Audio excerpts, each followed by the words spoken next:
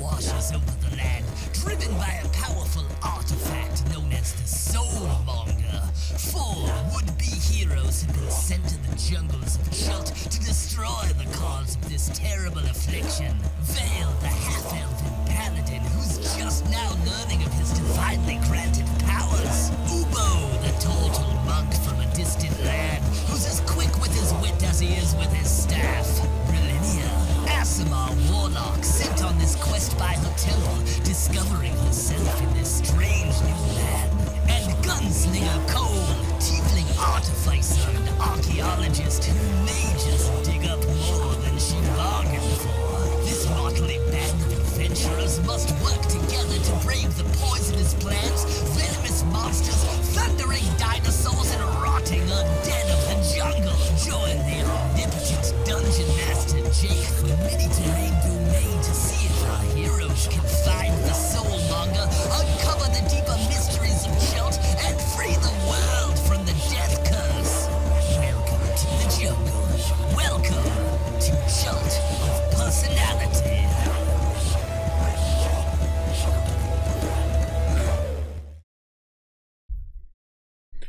Hey internets, it's Jake from Mini Terrain Domain, and this is Chult of Personality, episode 42, A Den of Vipers, in our long-running Tomb of Annihilation campaign happening every Sunday night right here on twitch.tv slash Mini Terrain Domain.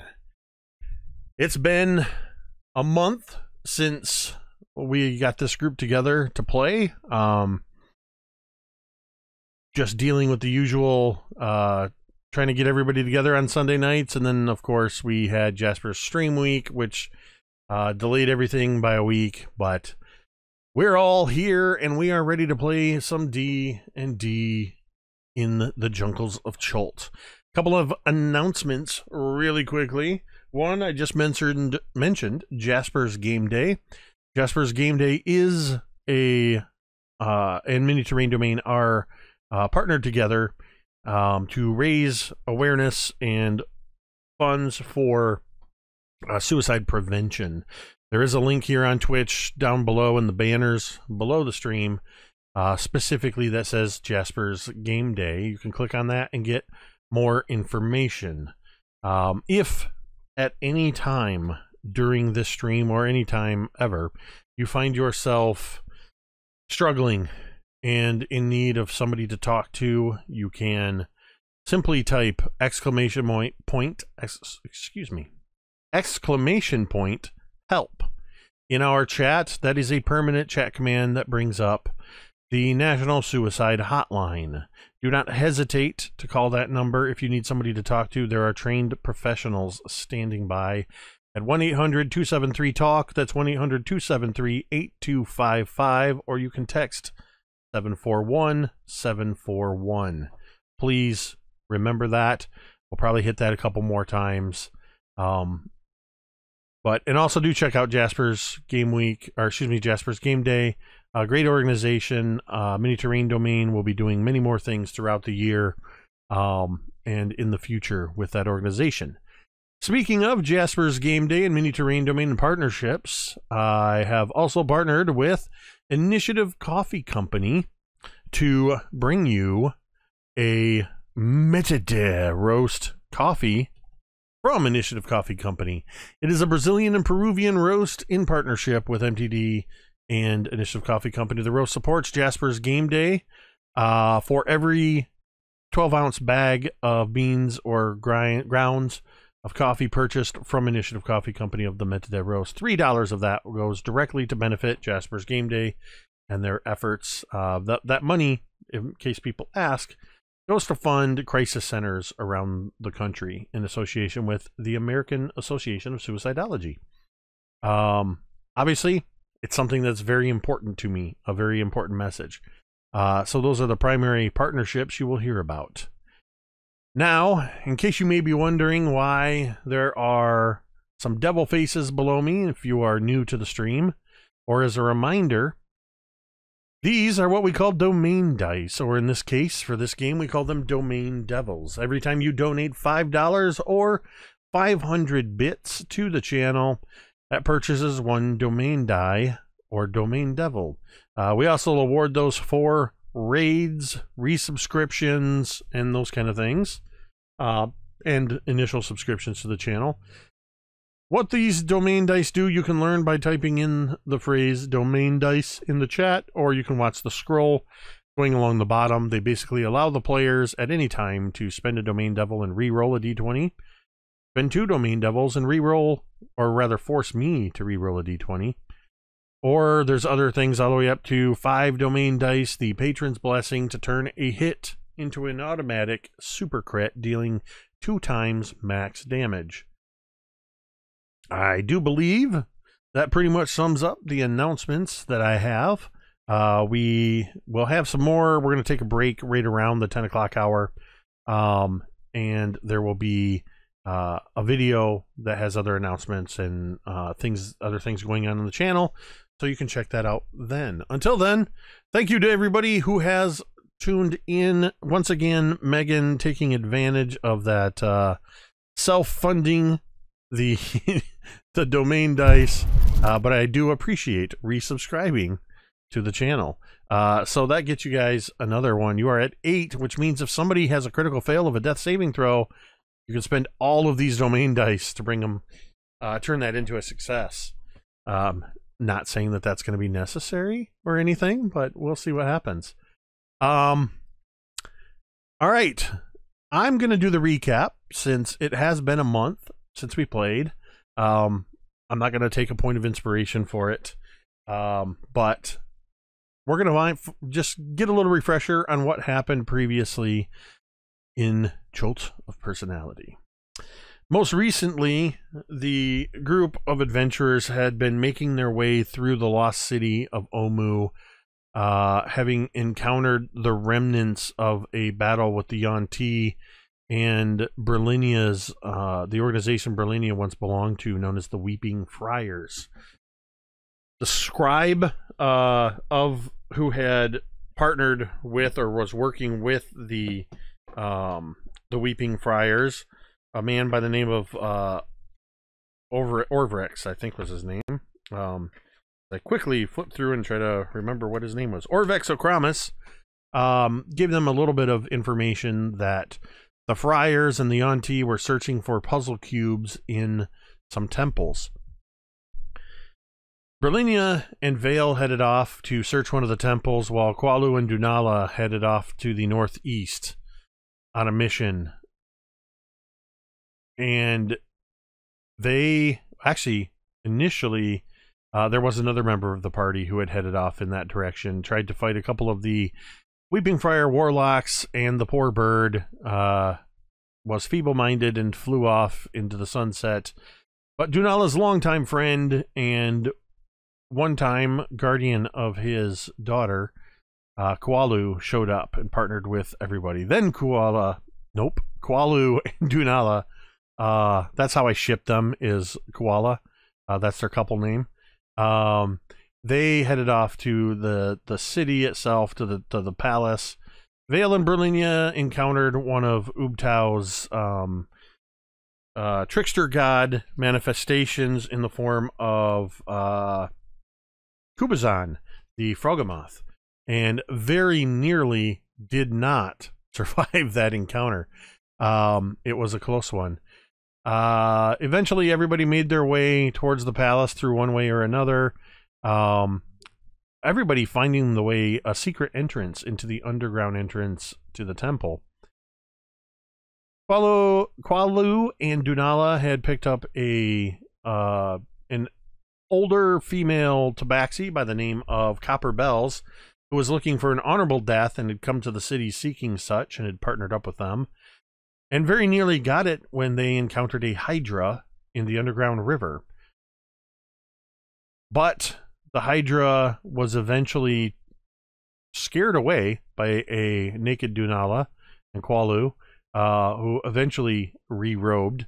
Um, while Brilinya and Vale, having narrowly escaped from some spellbound uh, Yuan-ti uh, that were very poor shots, um, word has it they were known as the Stormtrooper Legion of the Yuan-ti because they couldn't hit anything.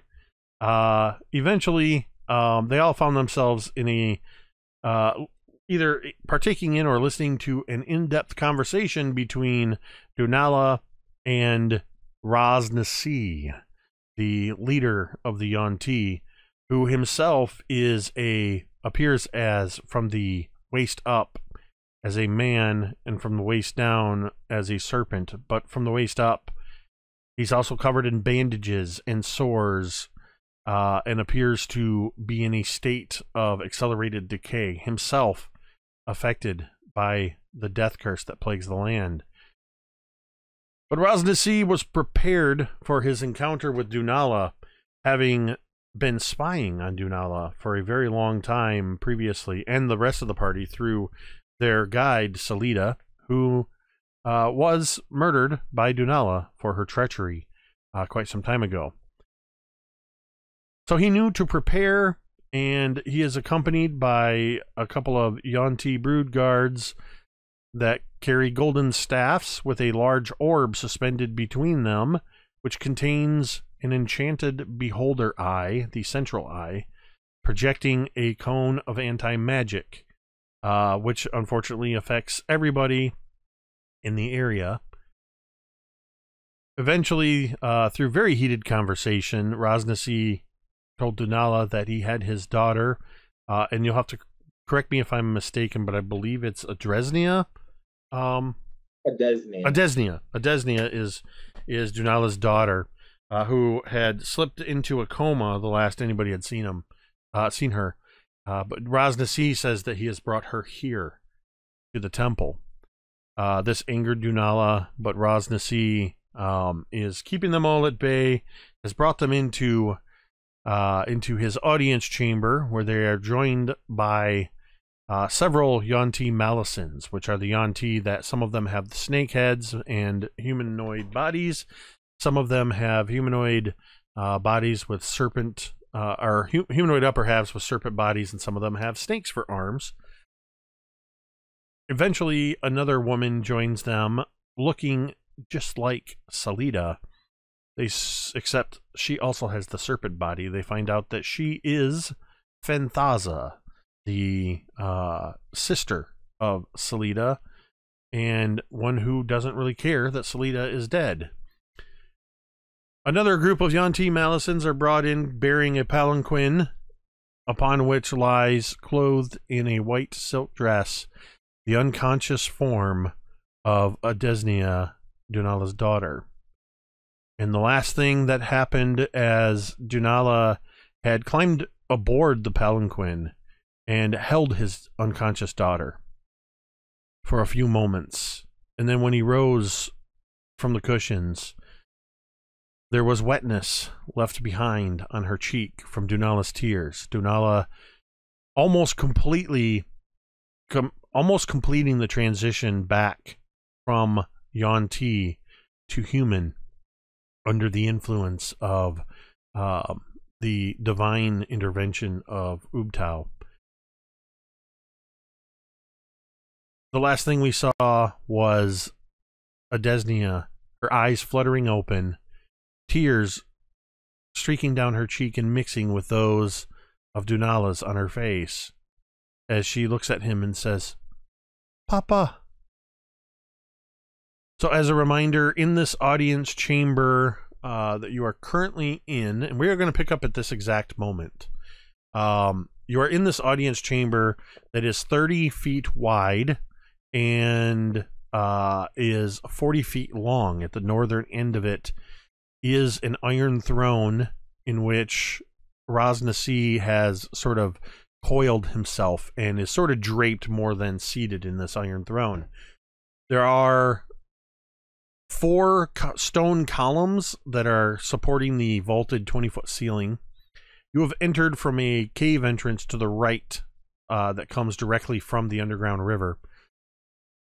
The southern edge of in the center of the wall on the southern edge is a alcove with a um a circle engraved with runes standing on either side of this holding the um the staff the staves between them uh, with the magical beholder eye suspended and covering the entire room, are the two Yuan-ti brood guards. Flanking around the room are 10 Yuan-ti Malisons. The six that escorted Fenthaza into the room, and then the four that came in bearing the palanquin, which now rests on the floor in the middle of the room, uh, directly in front of Dunala, K'walu, Brilinya, Vale, and Copper Bell, who has a look on her face, uh, as much as you can interpret this uh, this feline humanoid's expression, uh, very much like a cat that has just found itself in the very wrong place. Like she's just looking around, seeing everything that's been unfolding. Like, what in the nine hells did I get myself into? Uh, and then standing near the dais where the Iron Throne is, is Fenthaza. Adesnia's eyes have just fluttered up Dunala, fluttered open Dunala, and she says, Papa. Before we get to your reaction, kind of covering the initial conversations and as this all unfolded, I would like to go to the others and see how they are all taking all of this in. Because for the most part, Vale, Brilinya, and K'walu were very passively observing all of this and just kind of going along. Uh, so, Vale, just take us through this as you met up with everybody on the river, were transported to this throne room, and see now Dunala's daughter brought before him, um, and seeing the basically you are in the viper's nest um, of the Yuan-ti. Uh, take us through Vale's thought process and, and where he's at. Sure. So, yeah, traveling uh, with these Yuan-ti, uh, I, I would definitely be kind of a little bit. I would be extremely cautious, uh, and I would be looking that I I understand that there is a significance of why we are here. I could probably even see it in Dunala's face, or at least his outpouring of emotion. So yeah, normally that is very much uh, that is very unlike Dunala. Uh, so this is obviously something that is important to him, and as such, uh, I am keeping I'm keeping more of an eye on Dunala than I would be necessarily with the rest of the Yuan-ti. Because if the Yuan-ti really wanted us to die, they would have attacked us right away anyway. So I'm just kind of keeping more of an eye on Dunala and uh, and everything that is going on. And I think if things go south, then that'll be I'll probably see it in Dunala's Dunala's eyes before I see it uh, around me. So excellent, Brilinya. I think Brilinya is looking mostly at uh, Dunala's daughter, just with this face of, of concern and fear. She hasn't said a word on their way uh, traveling with the Yuan-ti. Just kind of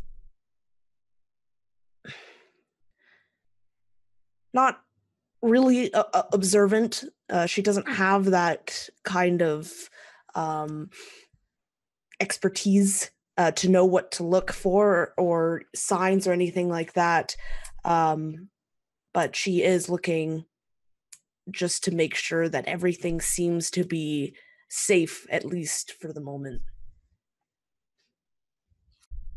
Excellent. Uh, give me give me an insight, Brilinya.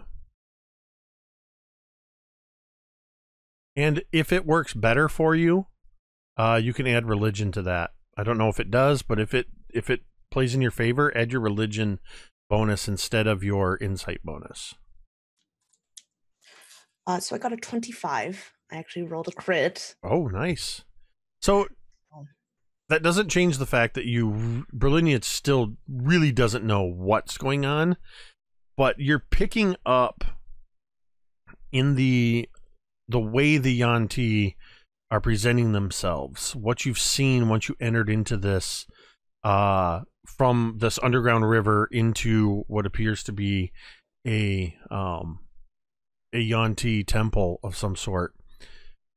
Just the way in the body language, the presentation, and everything, you recognize aspects of it from all of your time with the Weeping Friars. That there is an underlying sense of hierarchy, an underlying sense of um, ceremony. Uh, everything points to the Yuan-ti are presenting themselves in a very ritualistic um, manner uh, so that you you feel that there's some you don't know what it is but you get the sense there's some sort of uh, religious ceremony that drives a lot of their uh, beliefs and actions and with that high of a role, you're picking up subtle tension between Fenthaza and Ras Nsi. It's very subtle. Um, but you've seen this play out with the Weeping Friars, with Brother Mateus and others that have been near his position of power. That there almost seems to be a sense of um, concealed jealousy. What about you, K'walu? This is all. Dunala is your is your best friend, and you've seen all of this mm-hmm. play out, and you're seeing him affected in such a dramatic fashion. So, what is this doing to K'walu, who has only been reunited with uh, his his friend and his friend's associates uh, for a very short time? K'walu is next to Dunala. He has put his arm on Dunala's shoulder, his hand on his shoulder, uh, to comfort him. But the there's something a bit off about not his comfort towards Dunala, but K'walu's comfort in this scenario. He he is concerned. For the last time that he saw Dunala's daughter, was back in Port Nyanzaru, but, here she is here and now in the possession of Yuan-ti. And this is what caused and K'walu has the suspicions turned towards the Yuan-ti. If they're able to transport her daughter to have this kind of effect on Dunala, then what else do they have in store? And so K'walu is really just eyeing up very suspiciously of all the Yuan-ti around him, waiting for them to strike as these treacherous uh, poison serpents do. So he has this other hand readied on his blade. Not drawing it, but just ready to show down. All right. And now Dunala in light of everything that has happened and now actually seeing your daughter in front of you and now seeing her for the first time since you left her uh, hold on one second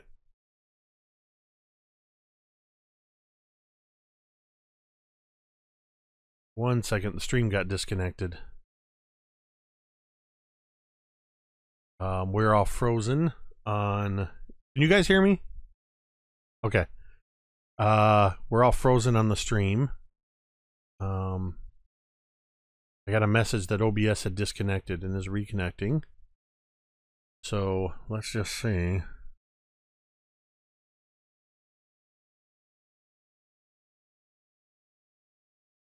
Um, I'm not sure. Yeah. Uh, okay. Looks like we're moving again. Oh no. Hold on. All right, hold on one second. I'm showing that we're still streaming. See, that's weird because I'm looking at the stream right now and it's offline. Hmm. Yeah, stream offline. Son of a. All right, I don't know what happened. That's so weird. Um. Okay. I. uh I'm gonna have to take us off air for a minute through the OBS. And the good thing is my local recording is still recording. Crazy. So uh, let's go back on air and see if it goes. Um,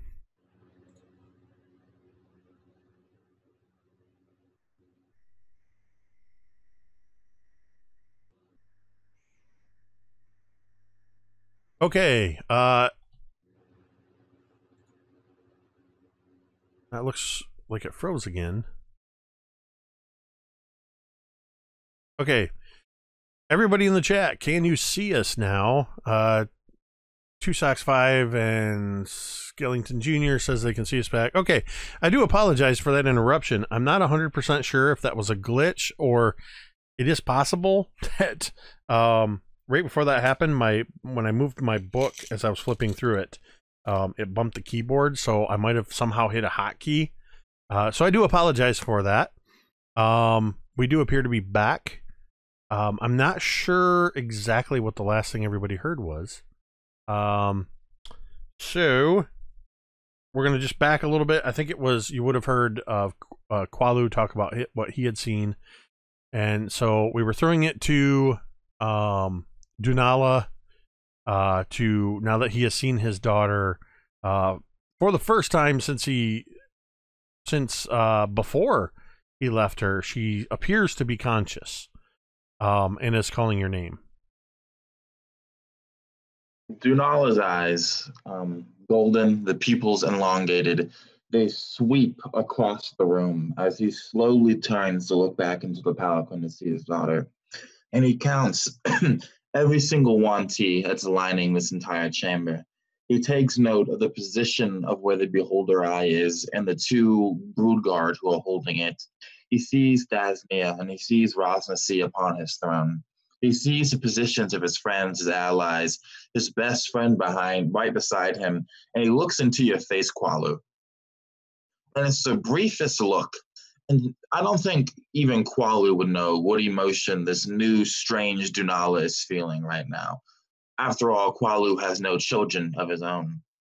But as Dunala turns to look back into the palanquin, he has counted every single threat in here. And that's exactly how he sees them as a literal den, a nest of vipers everywhere. Nothing but dangers to his daughter, nothing but potential death. And with potential death comes complete obliteration by the soulmonger. And he remembers Cole. And the thoughts of Cole makes him think of Brilinya, and that makes him think of Vale, and again of their missing friend, Eric. And finally, his eyes look back to his daughter. And his locks framing his face are shadowing it so you cannot see his expression. Only she can see it. And he sits on the edge of the bed that she is sitting on. And he says in Chultan to her, so only K'walu and maybe they all know if he has a magical power, and the yuan-ti will understand it. He says to her, Were you dreaming sweet, my little Yakabito?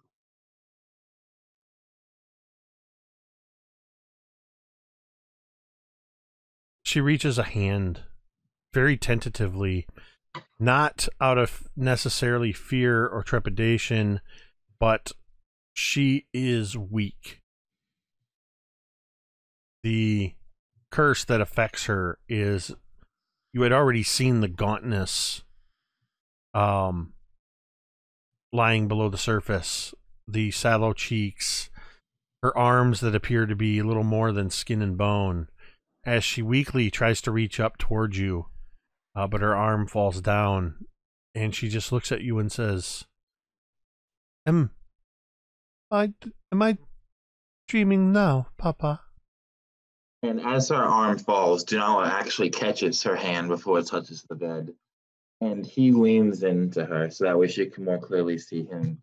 And he says, Yes, my little Yaka, you are. I knew you would be dreaming and I came to visit you. It has been a very long time. I have much to show you. And as he is speaking, he can feel the thinness of her skin, the hollowness of the flesh, the rigidity of the bones, and his stomach is turning with nausea and disgust as he feels how sickly and weak that his daughter is. You hear a sort of a very faint, subtle staccato sound of something shifting across metal as Ras Nsi slowly uncoils himself from his iron throne. The sound of his scales flicking across the metal of this throne with its five Hydra heads carved in the iron, shaped into it, towering overhead. And he slides down the dais and closer on the other side of the palanquin. You see, Dunala, I was not lying to you. I did not deceive you about your daughter. And even you can see how close she is to the door of death.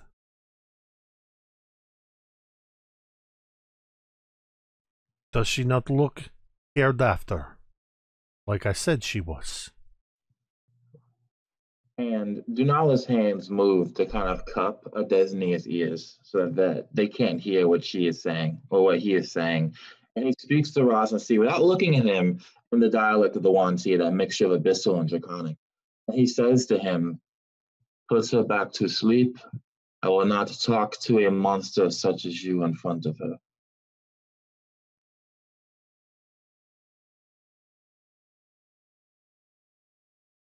He cocks his head. You. It is true.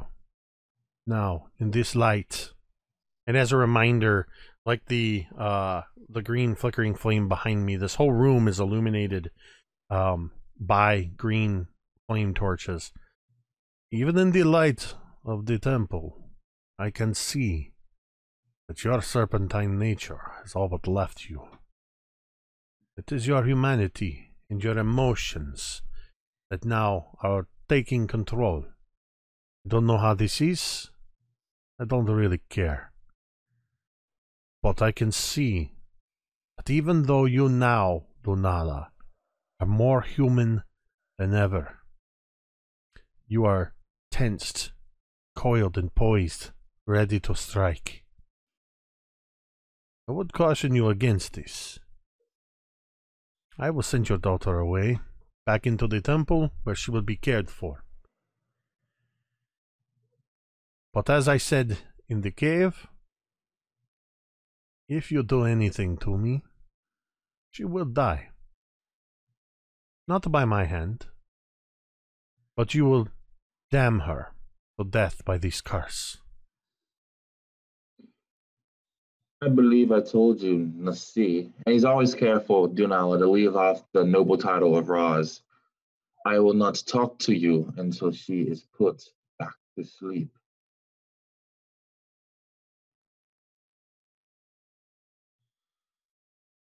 He looks over at Fenthaza. Take her away. Take her back to the chamber. Continue to watch over her. See that she is fed and bathed again. And then let her slumber some more. The four Yuan-ti Malisons that had borne the palanquin take up their positions and they begin to lift it up.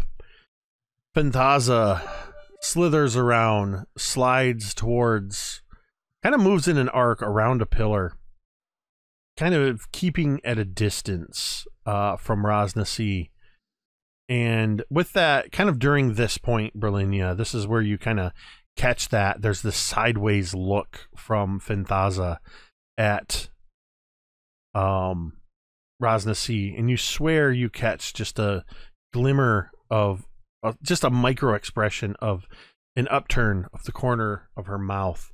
Um an involuntary twitch almost to a smirk. Very well. Donala. I hope that you and your friends will get to speak with me yet again. As she makes a motion and begins to slide back out that corridor to the west, the four Malisons pick up the palanquin. Adesnia, unable to lift her head, barely able to move her arms, reaches out towards you, Dunala. Papa! Papa! And he's saying this in Chultan, it is okay. I will see you in your dreams. Papa is with you. Papa has always been with you. She continues to cry weakly, just saying over and over, Papa! Papa! until she is taken from the room and the doors close, leaving you with Ras Nsi now standing about about uh, 10 feet away from you.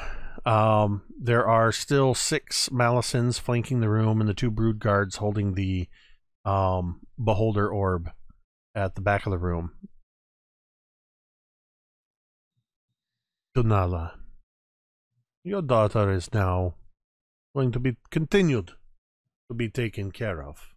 I am sick and tired of you talking about my daughter. Let's talk about you and me in the sea. You and me and Vale and Brilinya and K'walu and our dear friend Acererak. I'm sure you know that name. How do you know about Acererak? And how do I not know? You If I'm definitely, you definitely catch him off guard. You see in his body language and expression the involuntary hiss. You've just exposed his one of his aces up his sleeve, as it were. Um, he did not expect you to know this name.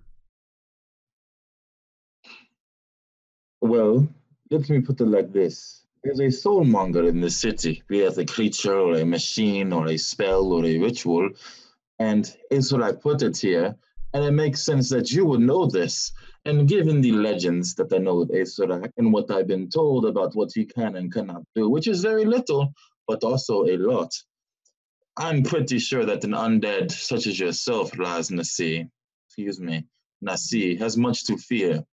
But that's neither here nor there. Vale. Does Vale respond? I'll nod my head.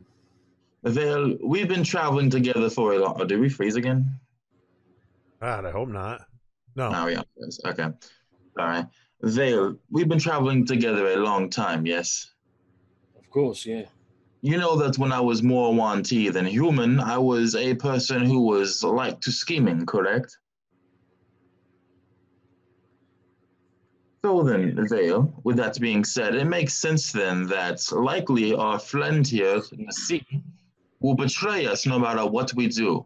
We either defeat the soulmonger and Acererak and come out and he kills us, or we fail to do so and he fails to aid us, or something along those lines. Does that make sense, Vale? I mean, to see it from its progression, yeah. So then, Nasi, I believe it is the voice of Ubtao you should be talking to and not me, because he will make the decision on whether everyone in this city dies or just Acererak does.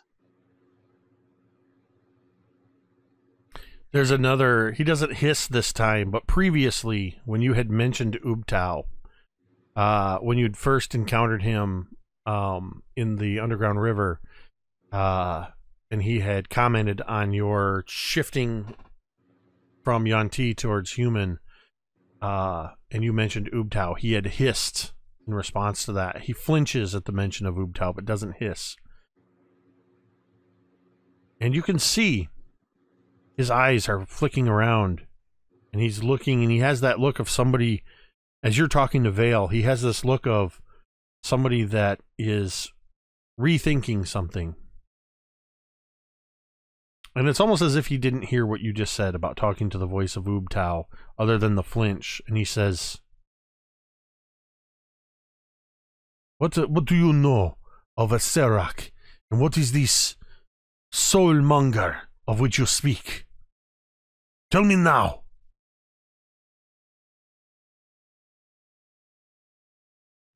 Dunala, uh, walking away, will just sit down beside Vale and he will say, You claim to be in such a position of power, and yet you are so ignorant of the things around you. It is a shame to see, but it explains why you've been wasting away in this jungle for so many hundreds of years. Um, Dunala. Uh, I'm gonna go ahead and throw another domain at you guys because our good friend, what you looking at, has just subscribed for 16 months in a row. Um, I always make sure to call that out as Josh is our first subscriber and longest subscriber, with I think Megan right behind that. uh, Marquise, or rather Dunala. And there's another domain die. Skeleton Jr. has just dropped 500 bits. uh, in your favor. It's, it's almost as if people are sensing something might be coming up. they sense that soon Dunala and this and everybody will need to kill a lot of people soon. what I want from you is um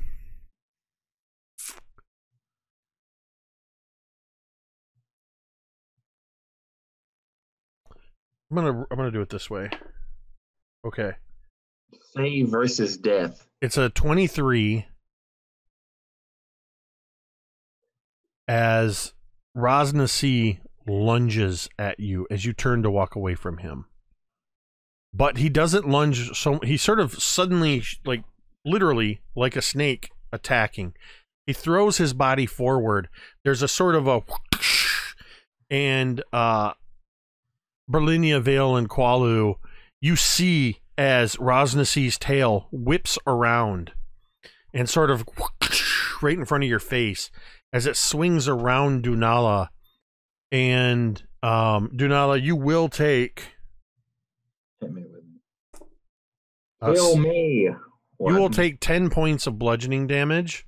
All right. as- all correct. Ras Nsi wraps his hand, or his hand, wraps his uh, serpent tail around you, constricting you. and Dunala, he Oh, pulls you in that same motion he pulls you toward like right up towards his face he's risen up as high as he can so that he's towering over you he's even sort of forcing you down a little bit i am tired of your games dunala you stand over top of me like you are in charge here Dunala is laughing. He is laughing brazenly. And as he's brought basically to his like not his knees because he's like constricted, but you know, low enough that it makes no matter. He looks up, still smiling, spits just a little bit of like blood and spittle onto the cobblestones, and he says, "For a dungeon master such as yourself, Lasnasi, your arrogance, your strength, your pomp is all so very frail. But if this is what you must resort to to regain power, I will give it to you. I will give you all the respect that you've so wanted these last few hundred years to. I will tell you about the Israk. I know who Acererak is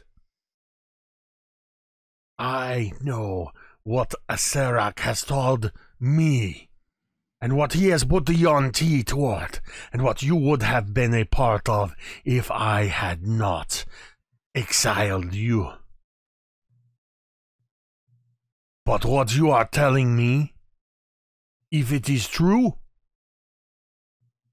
is that Serac has played me for a fool.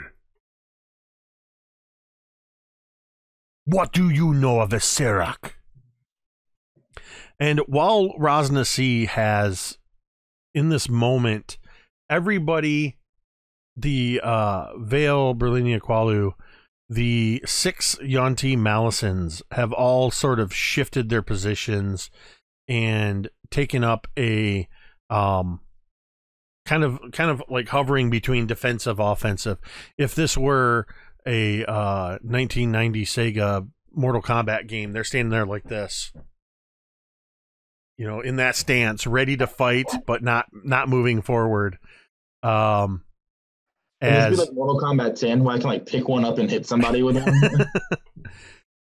so at this point, Dunala, yeah, he's you you've sort of raised in that little bit of uh that little bit of uh humanity that he clings to. Those emotions are surfacing as he's got you in his face. You can smell the rot of his flesh as this death curse is taking um taking over his living body as he leans at you fangs just coated in saliva. What do you know of Acererak and his true intentions and what is this soulmonger? Dunala's eyes are studying the face of Ras Nsi and seeing this outburst of anger, which is impossible for Nomawanti to feel, actually makes Dunala feel the tiniest shred of pity for this man because he knows now that just as Dunala has months ago was claimed by Dendar finally, he knows that Nasi back in the day was likely claimed the same way. Once a human, once a bit, and now this thing.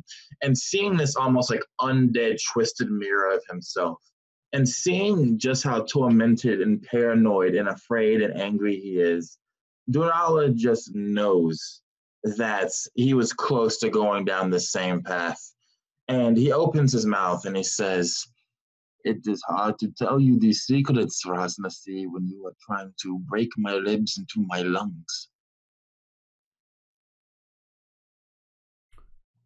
For a moment, uh, for a moment, uh, Ras Nsi grips you tighter it grows difficult to breathe. You feel not so much a cracking, like things breaking, but you can feel your bones shifting a little bit as he tightens in anger. And then, actually, before anything other action takes place, what are the three of you? How are the are the three of you reacting to this? Vale, go ahead.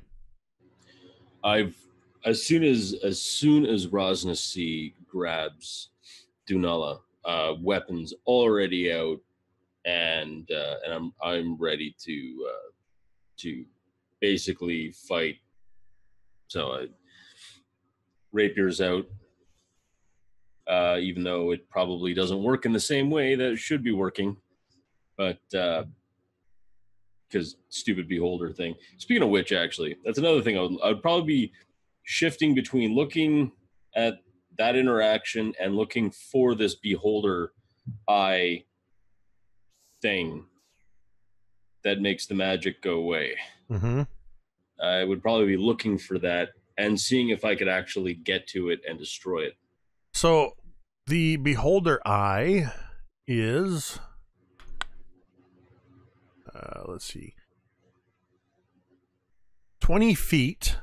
Uh, actually, we'll say based on everything else, 15 feet behind you on the south wall. There's that alcove that has this uh, rune covered circle in the alcove, and on either side of that stands the two brood guards holding the staves that suspend the um, beholder eye up. Um, I will say, uh, just mechanically, um, as long as that beholder eye is active, none of your magic weapons work. All magic weapons are mundane um, during this point. And if you have, uh, if you're a spellcaster, which I think everybody but K'walu is, um, then you would have that that sensation that was described when you first felt it. And I, actually, I don't know if Vale and Brilinya had first we'd had that description, but you've had this whole time it's as if something that has always been there is suddenly gone. It's the absence of a thing. Um, kind of like if you know your entire life you've heard your heartbeat in your own ear, and you've learned to just completely tune it out. Uh, it's like that. It's like your heartbeat is suddenly gone uh, something is missing. That's the the physical response you have to the you're no longer connected to the weave. Um, it's as if a veil has been drawn between you and the weave of magic. Uh, but it is, yeah, about 15 feet directly behind you. Um, there's a so you got these these stone columns that are suspending the 20 foot vaulted ceiling, and they are about, uh, I believe. Let me just double check the map. They are about 10 feet apart. So that's kind of a, a little bit of an obstacle to move past if you were to attempt to do so. Um, so you're just kind of, you know, you're making the the visual assessment, veil, not taking yeah, I'm, action. I'm basically, basically, I'm trying to think of what would be the the quickest and smartest way to destroy that beholder eye, um, and essentially just try and like make you know like kind of get everything back into get the ball back into our uh, on onto our side of the field. All right, Brilinya. How are you Brilinya reacting to all of this? terrified. Uh, her eyes are just wide with fear, and she is not really sure how to react. This feeling that she has of not this weird uh, disconnect that she is feeling right now is leaving her feeling just absolutely worthless. Uh, but I think she is still like looking to veil um, kind of like this, just terrified I have nothing. I can't do anything. I can't help anyone kind of look and is kind of frozen. And K'walu. As soon as the tail lunges and snaps Dunala and brings him forth and begins to crush him, um, steps forward, unsheathing his sword, and would like to attempt to sever his tail with the intent of freeing Dunala. I do not, I do not wish this to be a mortal wound, but definitely a maiming one. If Dunala sees him draw his sword, can I be like, yo, stop this? That's up to K'walu if he actually heeds your. If if you make a physical exclamation of "Don't touch my boy," then K'walu will kind of like half draw that sword in confusion. Um, Basically, like as you're like pulling up the sword, because Dunala knows the kind of man you, you basically become on your journey. He just shoots you a look, which you do recognize the look of stop. And so then I will glower and glare at Nasi um, with all of my half orcish fury. With the facial the facial message of if you touch Dunala again, uh, that'll be the last time you have a tail. I would like. Uh, let's see here. Probably not going to matter. Uh, Vale and Brilinya, what's your passive wisdom or passive uh, perception? 11.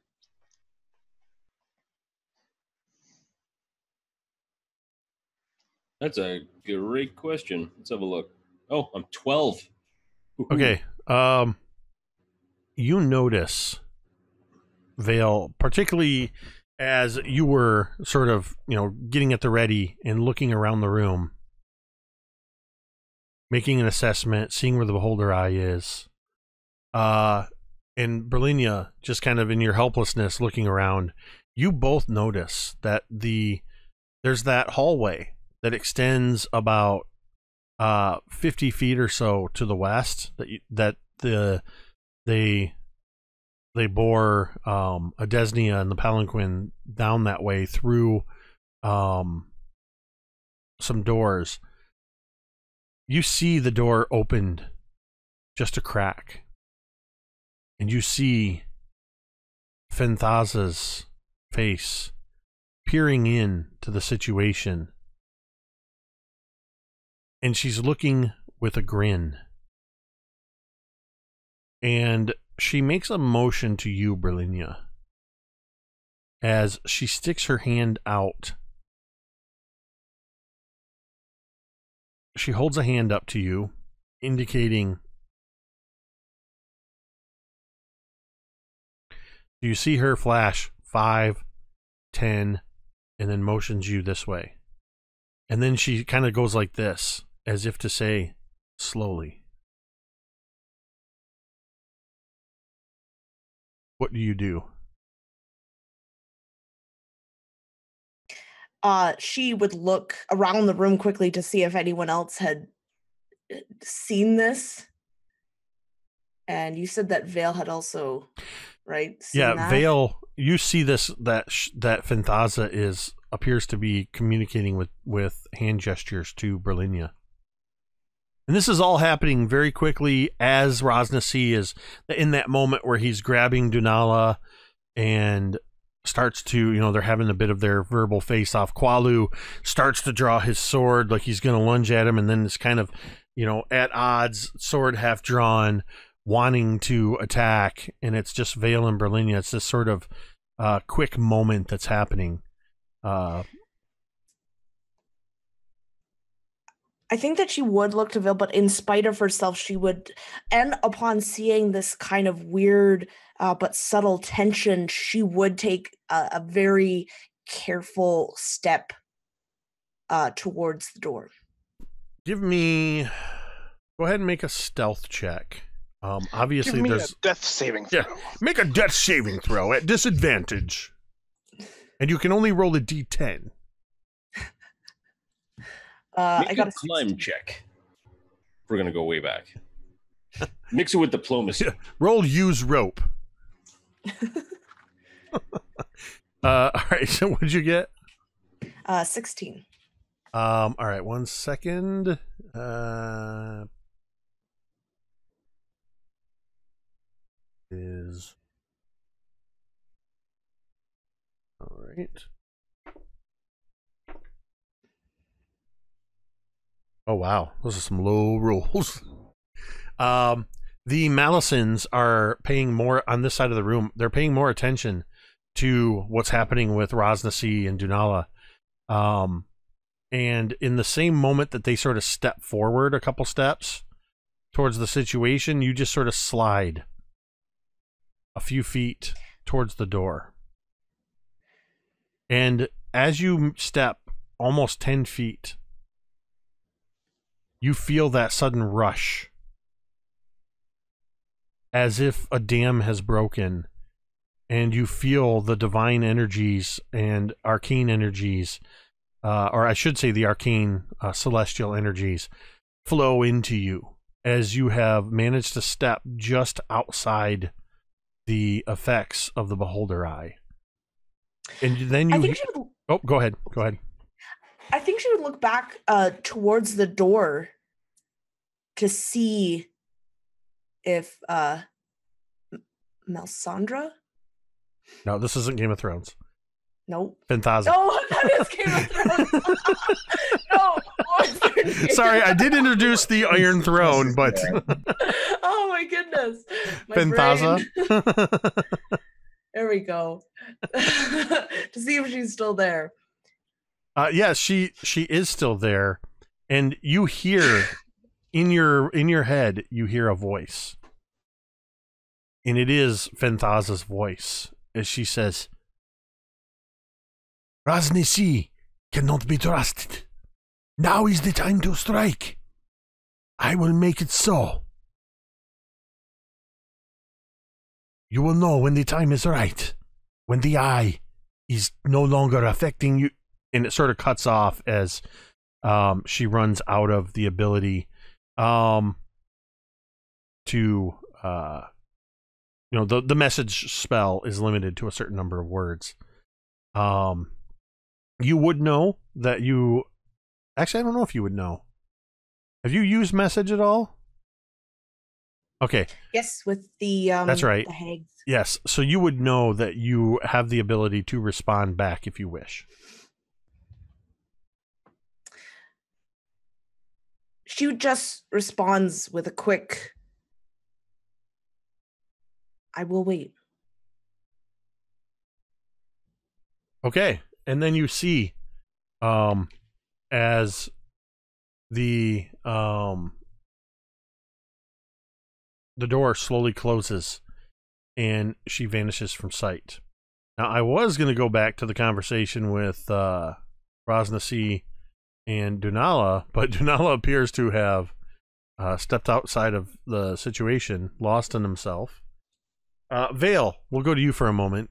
Um, what what do you what what do you what? Good lord, what are you thinking uh, as you see Vale sort of nope as you see Brilinya sort of sliding west, and then she seems to be sort of almost visually um, communicating with Fenthaza.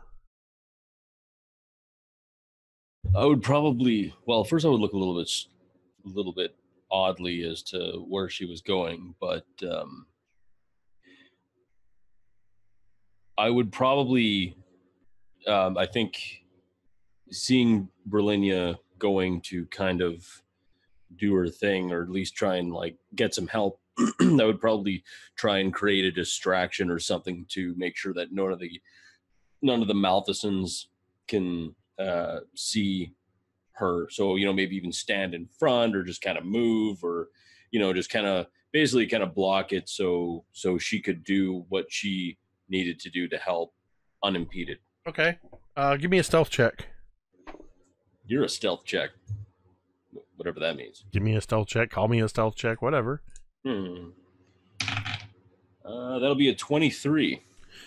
Yeah, they don't see they don't see Jack. Uh all right, so this has all happened in the space of just a, a, a moment, and it's kind of happening while Dunala and um um Ras Nsi are engaged in this as Ras Nsi has just said to you, Dunala, Tell me everything you know. Tell me what you know of Acererak and the Soulmonger. And he hasn't let you go completely, but he has loosened his grip on you. You ask for information, Nasi. Ras Nsi, I will give you that respect. You ask for information, but yet when I ask for information, you made me pay a price. I paid that price. Did I not? I have a few requests, and then I will tell you all that I know, and it is much. I can tell you that, Ras Nsi. And they are simple requests. Uh, 15. Mm. Okay. Continue. Now, Trasnasi, now that I have your true and earnest attention, and now that you're showing me what you really are, I will tell you what I know about Acererak and the Soulmonger. If you tell me what you know about Acererak, and if you do me one small favor. He just continues to glare at you. He doesn't answer. I know the type of man you are, Ras Nsi. I may be becoming human again, but I was still a Yuan-ti myself, yes. Still then, man, I know that likely you still plan to betray me in some way, shape, or form if I help you with this soulmonger and Acererak's issues. There's no point in you lying to me. It is a foolish thing to do. I will assume so no matter what you say. I just ask you this, Ras Nsi. That's no matter what happens, and I will go and I will destroy the soulmonger for you. That's no matter what you do afterwards. You let my daughter be earnestly free. You do not sacrifice her. You do not perform any rituals on her. You send her back to Port Nyanzaru. You give her guardians a good amount of money so they can live a good, happy, quaint life. And you leave her out of whatever story you have left to tell.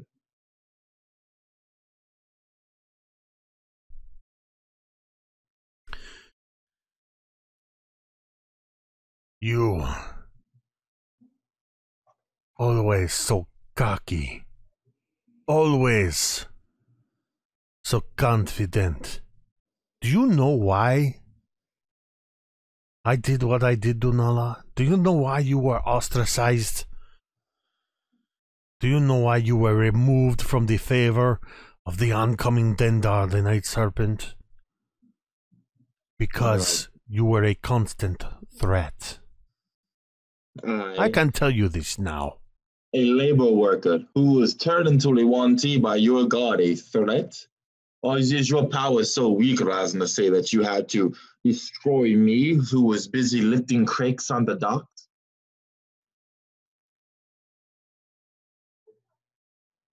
I have brought to you this deal with the plan not to betray you, as you say.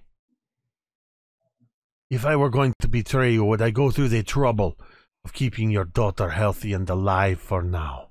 It is the smartest thing to do to manipulate me, Razna. See, if I were you, I would have done the same. But you are not me.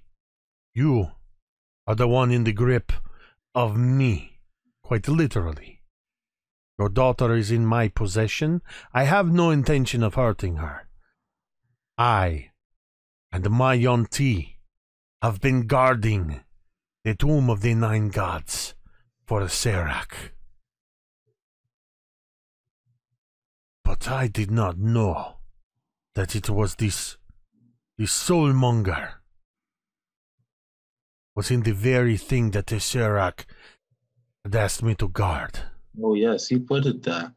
He put it there, then he lied to you somehow with something, or maybe he forced you, I do not know, to make you guard it. And inside of the tomb of the nine gods, which is sealed, as you, I'm sure you already know by the puzzle pieces, it's literally the end of this world.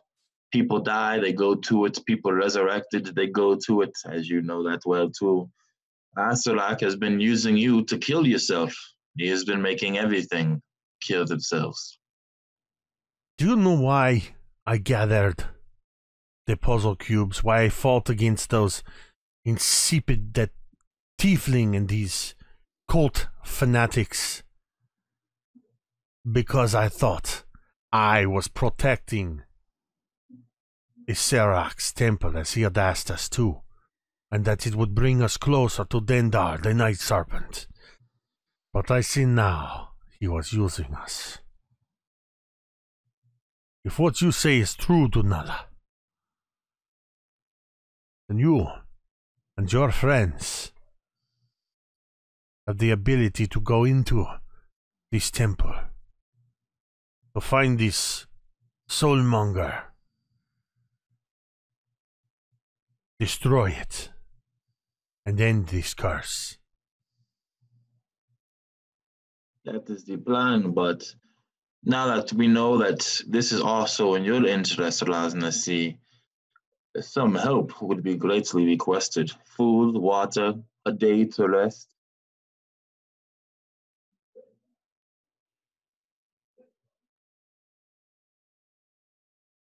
Brilinya and Vale.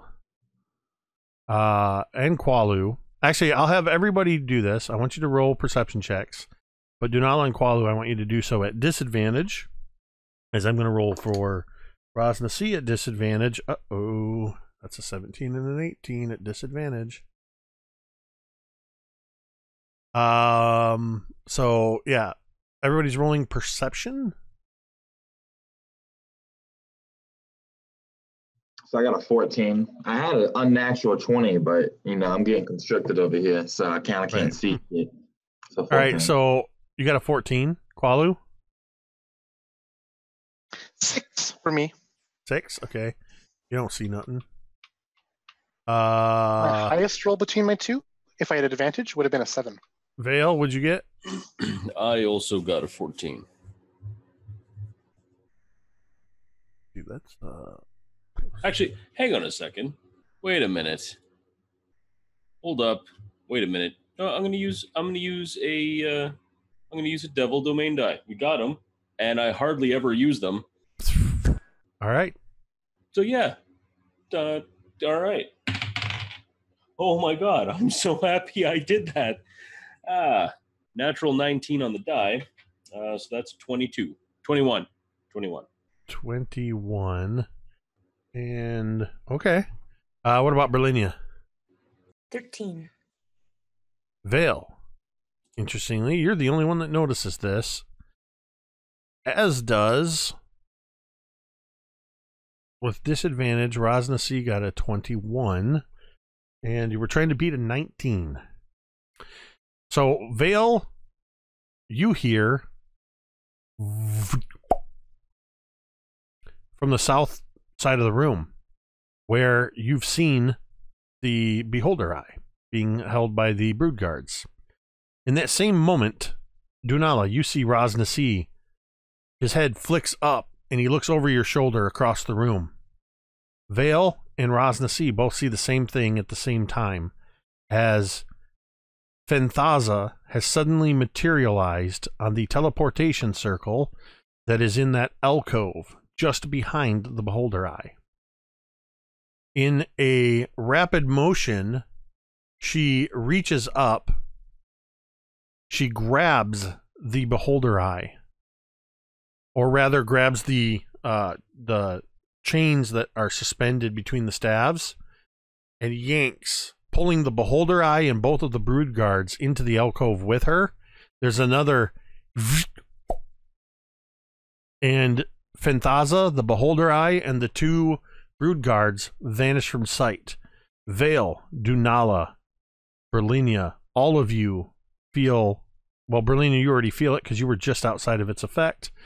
the rush of magical energy flow back into you. Dunala, for a moment, Ras Nsi grips you uh, even tighter for just a moment as he releases you suddenly and cries out, Betrayer!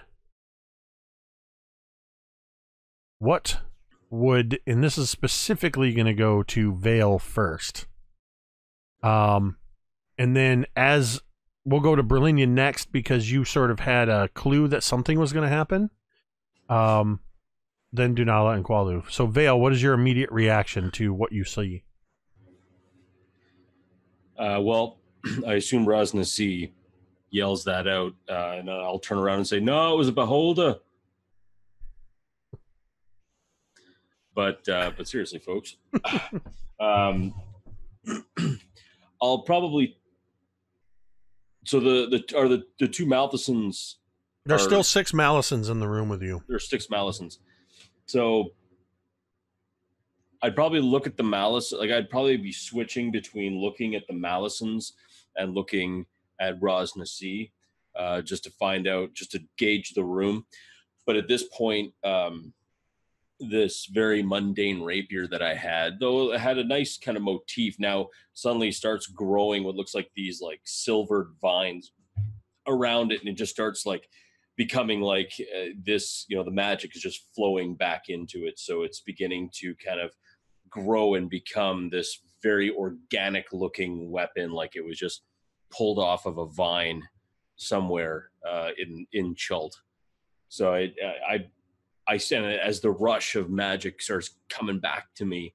You know, I can start like hearing the heartbeat, but not my own. It's the heartbeat of Chult. I can begin hearing that beginning to like pound in my ears as you know I hear everything from the the wind through the fronds to the animals uh, surviving in the jungle, but everything just just rushes back into me, and I feel more alive. You know, so I, I'm just nominate him for a point of inspiration because that was badass. I will grant that because that was badass. Taking the initial imagery I had given you and expanding on it in such a brilliant way. I love it. and uh, yeah, I will. Uh, and so yeah, like I said, I my sight my senses are heightened, uh, so I I am now kind of looking, and also uh, from the detritus of the cavern and everything, and even uh, any like roots hanging down from underground uh, begins to kind of coalesce as Moyo kind of like comes in out of it uh, to my side. Nicely done.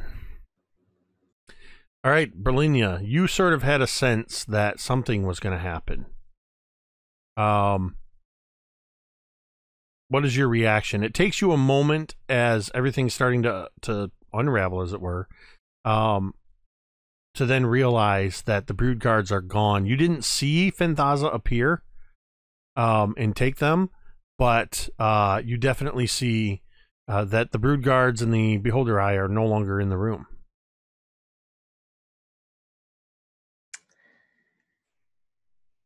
I think Brilinya wants immediately, as soon as she notices all of this and she sees the commotion going on, she wants to fire two Eldritch Blasts right at uh.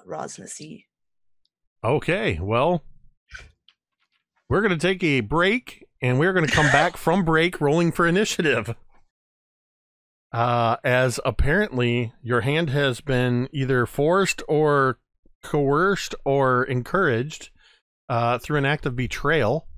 Um, so yeah, we're going to take a quick 10 minute break. Uh, real quickly, I do want to thank everybody who has joined us in the chat. Um, we love seeing you guys there talking in the chat, interacting. Thank you to uh, those that have followed the channel since you got here. Um, thank you to uh, Skellington Jr. for the 500 bits earlier, buying the domain die. Uh, and of course, what you're looking at for the resubscription. Um, and uh, even Two Socks, uh, Two Socks 5 cheered 100 bits earlier. Uh, so we thank you for that as well. We are going to take a quick 10 minute break during which there will be some uh, announcements, but no worry. Uh, we'll see you back here in 10 minutes with the conclusion of session 42 A Den of Vipers. And here we go. And we're back. At least that uh, bizarre stream interruption happened during the break this time. Um, just in case that does happen, stick around. Uh, you may or may not have to refresh. It might just kick in automatically. Uh, I didn't say this last time, but the good news is the recording is still running. Um, so I might do a little bit of editing and have us. Uh, I might not even edit it; they're not that long. Uh, but the VOD, which will be on YouTube soon, I'm going to get all these back up on YouTube, um, will be uninterrupted. So, okay, right before the break, uh, surprisingly, Brilinya was the one who decided to initiate combat, uh, firing off two Eldritch blasts, and I'm going to let Brilinya get that shot off at the top, regardless of initiative order, um, and then we're going to immediately go into initiative order. So, um, we need to roll up some initiative. Um, I guess I could have done this during the break, but I was troubleshooting what was going on. So I've got a few things to roll for here. We've got the Ras Nsi. Okay, and I'm going to split the Malisons. Um, there's basically a type one, two, and three um, on each side of the room. So there's a group of three on the left side of the room and a group of three on the right. They're going to have two different initiative orders. The left side gets. Let's see. Left side gets a right. And the right side. Okay, Vale, what'd you get for initiative? Okay, I rolled a 16, uh, 16 all in, and then uh, Moyo? I can't remember. Serves me. You all, yeah, and Moyo uh, rolled a 19. Moyo goes before me. What the hell? Okay, Brilinya. 10. Was that a 10? Mm-hmm. What's your dex bonus? plus four. Okay.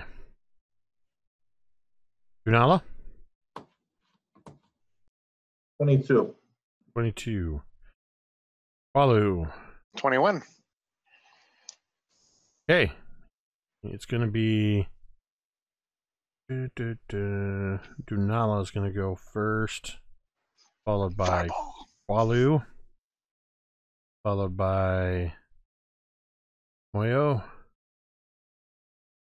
and Vale. Um, and then it's going to be there, and then there, and then Brilinya, and then this one. Okay. All right, Vale. First off, or no, not Vale. Brilinya. Before we go into true initiative order, I want you to roll your two attacks versus um Ras Nsi, your two Eldritch Blasts. Okay. I got a 14 and a 17 to hit. Uh, fourteen and a seventeen. You say? Mm-hmm. Uh, that's gonna be a miss and a hit. Okay. Um, okay, so that is going to do 12 points of force damage as well as push him back. Uh, So, yeah, the blast strikes Ras Nsi, and he suddenly lunged back as you see these uh, arcane blasts strike Ras Nsi. Dunala. Um, sort of, I'm going to say.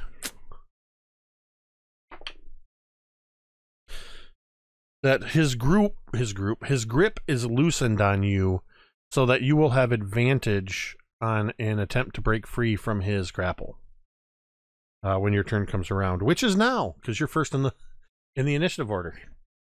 when that beholder eye is taken away, what hits Dunala all at once can be described as none other than an extremely intense psychedelic drug trip, in the sense that the things he sees become geometric and covered, covered in strange colors. He loses his balance for a second. His body feels uh, light and weightlessness, and then literally exploding from his arms where the scales once covered them is this black shadow and these black shadows are taking the forms of rocs and eagles and flail snails and frog froghemoth and all nine of the nine gods and all the many predators of Chult. And these shadows extend off of Dunala and then wrap around him like an aura, the shadow, the shadow of Ubtao himself. And he looks up to Ras and he's just grappled, right? He's not restrained or anything. Uh, you were restrained as part of the grapple. Restrained. Now it's a grapple. Hmm. Yeah, now it's it's just gotcha. a grapple. Okay, one second. Let me check my spells real quick. And he looks up to Ras the shadows bursting from his body. And has Ras taken note of this power that's building up like in front of him?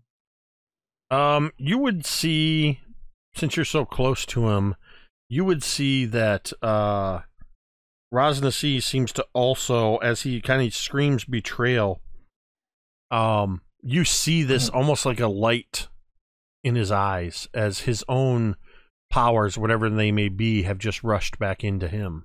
Perfect.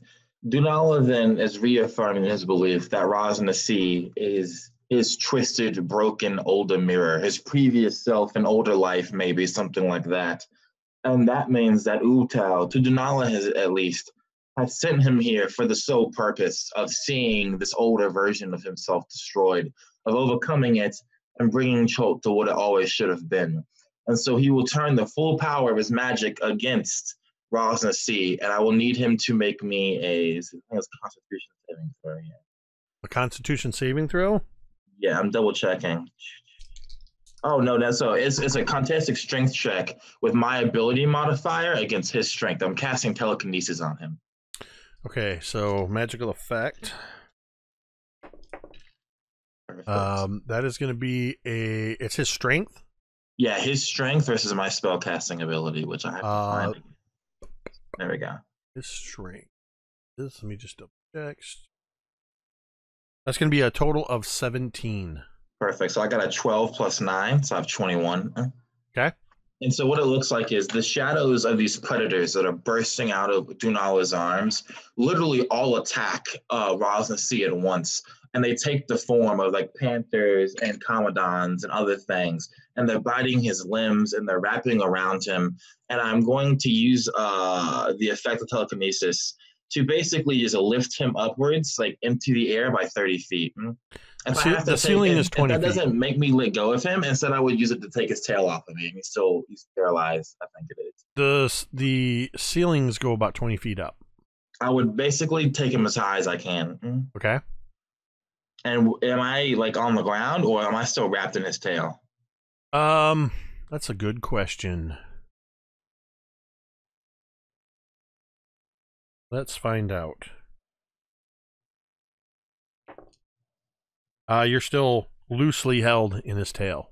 Okay, in that case, since I have him restrained, I would basically pull his tail off of me before I would lift him, and that would end my turn. Okay, perfect. So yeah, using this this telekinetic ability um you see him everybody sees him dragged towards the ceiling with these shadow panthers and and other creatures um pulling him up all the way to the 20 to the edge of the 20 foot vaulted ceiling. And what condition is he under now? He's restrained. So as of the condition yeah. And then Dunala would also shout to K'walu protect me while I do my work my friends. And K'walu grunts and nods.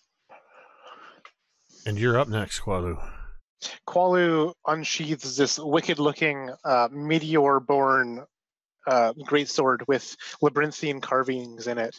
Um, and in this full glory, the sword uh, no longer held back by any kind of beholder eye. Um, it's some some kind of brilliance about it. Uh, gives a sense of that it does not belong here in this world, and nor it ever should be here, but yet it exists nonetheless and he stands guard over Dunala. Uh, looking over at the many uh, the many Yuan-ti that surround this place. He's going to hold his action to take the attack action if anyone dares strike Dunala, wherever that may be. Okay. Moyo is up next. And as a reminder for anybody who has not witnessed Moyo before, Moyo is Vale's celestial uh find com- find uh find steed, I believe it is, isn't it? Or is it find uh was it Yeah. find steed? It's find steed. Yeah, and it's a celestial um Kamadan, which is sort of a a jaguar type creature with um snakes. I think it's what, like six or seven snakes coming out of its shoulders. Essentially, it's like a Medusa jaguar without the stone and more of the biting and the poison. There you go. Uh, It- so it's uh, Moyo's and turn. I remember when you uh, when you gifted Moyo to me. Uh, that look of instant regret. It was it was it was glorious. It was why- classic. Why did I why did I What? give What have I done? horse-sized jaguar with snakes? Oh, that can put people to sleep. Don't forget that. It's got the old sleep breath. Um, I just kind of point towards the Malisons, and uh, and Moyo's gonna kind of rush over, and seeing as how I never ever get to use this for Moyo, uh, I am gonna use its sleep breath. So all creatures in a 30 foot cone must make a con save or become unconscious for five minutes. And who are you targeting specifically? Um, as many of the Malisons that I can get in a 30 foot cone. So you'll have to target either the three on the left or the three on the right. All right, let's go with the three on the right. Okay, so that's going to be a a- con D- save. yeah, a DC 13 con save. All right, looks like they have a straight con roll. So got three of them. So I'm rolling three dice. Um, so that's a nine, a nine, and an eleven. Bam. So all All three right. of them have failed. And so they are now they become unconscious for five minutes and the creature can only be roused by slapping them or inflicting damage to them also uh, i'm going to roll a d6 to see whether or not this recharges again and it's on a four to six and i rolled a five All right. So- and that's moyo Hmm. Okay. Uh, up next is Vale. Well, all right then. So, uh, seeing seeing uh, uh, Ras Nsi being taken care of, three Malisons, half the Malisons are down. Uh, I'm gonna rush so I can get kind of in between two of the Malisons, and uh, and I'm gonna gonna hit him. I mean, what else does one do? Uh, so that's a 24 to hit. Yeah. Yeah, that hits. And uh, that'll be 10 points of magical piercing damage. Okay. And then I'm going to attack the another one that's within five feet. So I assume, well, I don't want to assume that they're all clumped together, but They're, are they? they're close enough that you can you can string Okay. your attack like this. Okay. And so I'll attack the next one for a nat 20. Nice. So as a reminder, crits in an MTD game are automatic max damage, including dice and modifiers. Then roll any damage dice once more and add that number. Uh, so it's 15 plus, uh, well, plus three. So 18 points of magical piercing damage. That was to a different one. Okay. That was a different one. Yep. And uh, yeah, that, that's me. All right. So with this telekinesis spell, does Ras Nsi get another saving throw at the end of his turn? I just looked at it, and what it is is that I have to use uh, an action on my turn next turn. I think it is. I'll double check it to keep the spell on him, so he doesn't get a save. It's just another contest. Okay. next time. Okay, I got it. So let me just see here.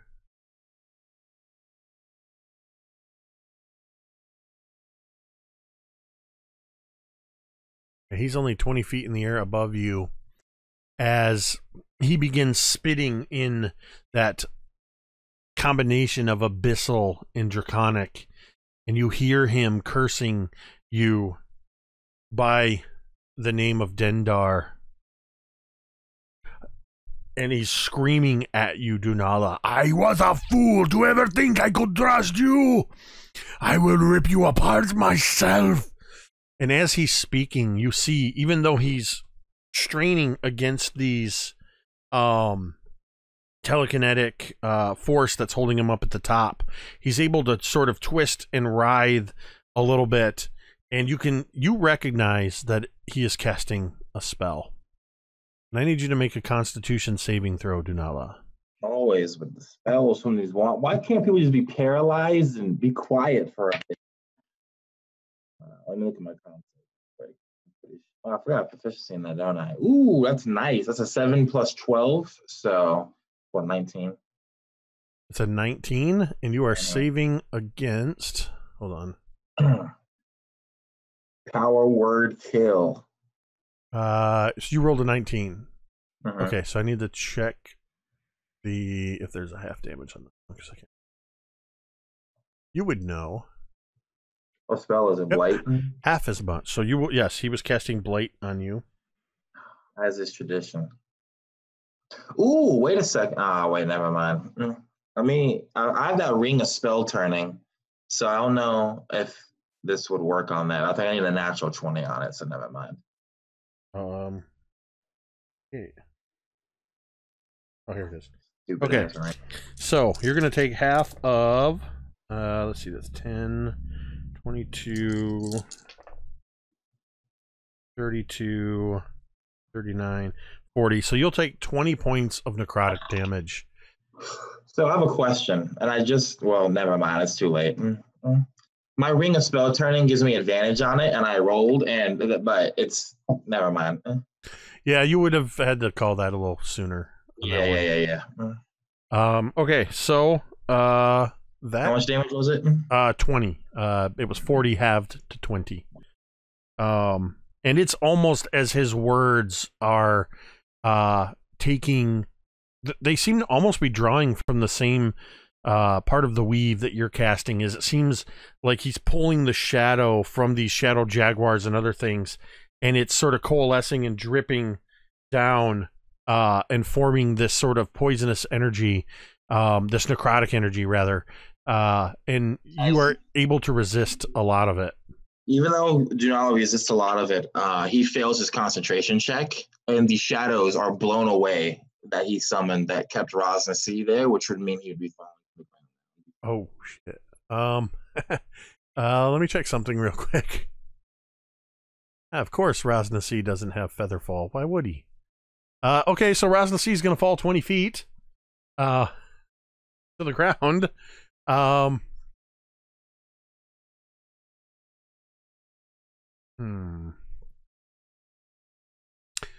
yep he's gonna fall 20 feet to the ground uh so he's gonna take eight points of bludgeoning damage as he hits the ground. Um, and sort of lands in a in a mess. And I'm gonna say, yeah, he uh is essentially prone. Um, I don't think he's resi- or yeah, he's not immune to prone.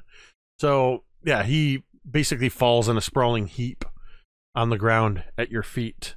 Um. Oh, it is the left side Malisons. The two that attacked, um, or were attacked by Vale are going to attack Vale back. And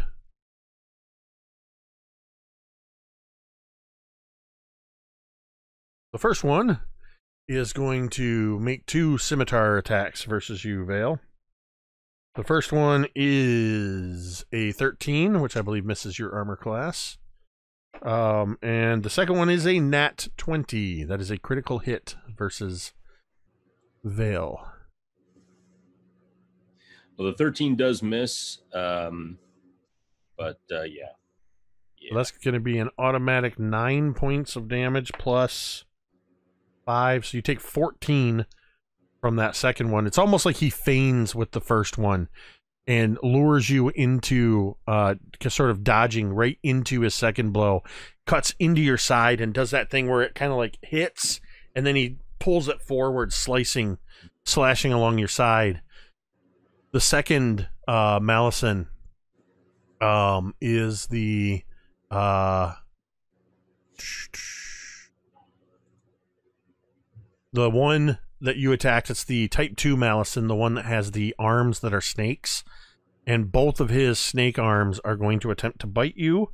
The first one is going to miss with a 12 um, but the second one sort of comes over top of it as it's the second one is receding uh, and they he does this weird thing where his arms sort of get twisted up um, and accidentally blocks himself because that was a three on the die. Um, so that one's attack fails the third one which is a type 3 malison is the one that has the um, snake like body is going to lunge at Brilinya, who is nearest to it. Uh oh, man, that is a ten to hit as it lashes at you with its tail, uh, in a similar fashion that Ras Nsi did to Dunala. Um, it fails to do so, uh, to to successfully hit you. Uh, and Brilinya, it is your turn.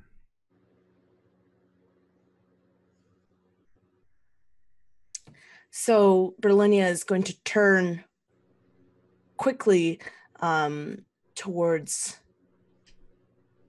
um, Dunala, actually, and uh, she stretches out her hands, and you see this just ethereal light shine from her hands, and you, Dunala, you feel like this warmth coming over you, and uh, she is going to heal you for 12 points.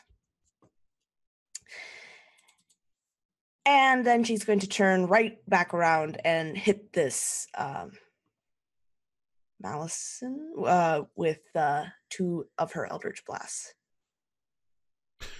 All right. And that's a Those 28. and a- those because it's engaged with you. Uh, those would be at Yeah, it- disadvantage. yeah. Okay. Yeah. Uh, so that's going to be uh, an 18 and a 10 to hit. The 18 will hit. That's going to do 10 points of force damage. And also push it back 10 feet.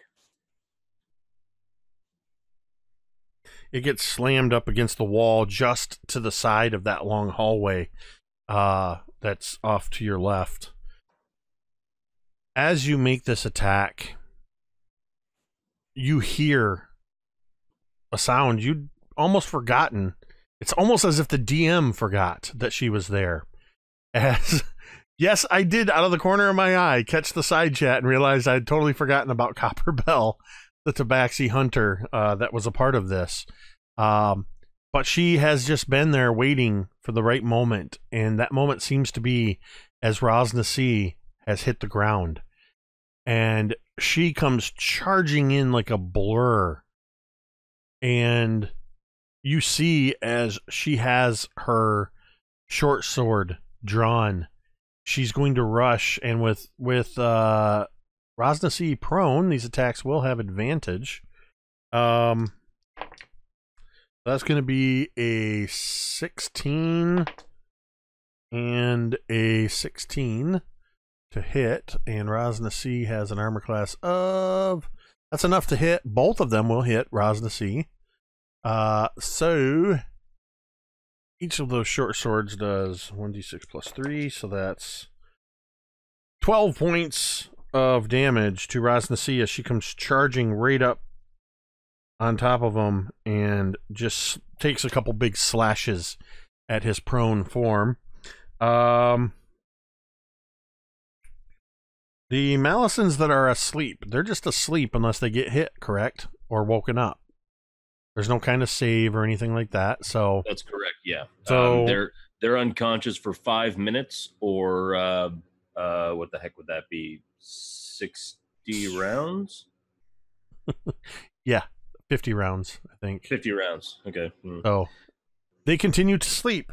Uh that is going to bring us all the way back to the top of the initiative order with Dunala. Ras Nsi is prone at your feet.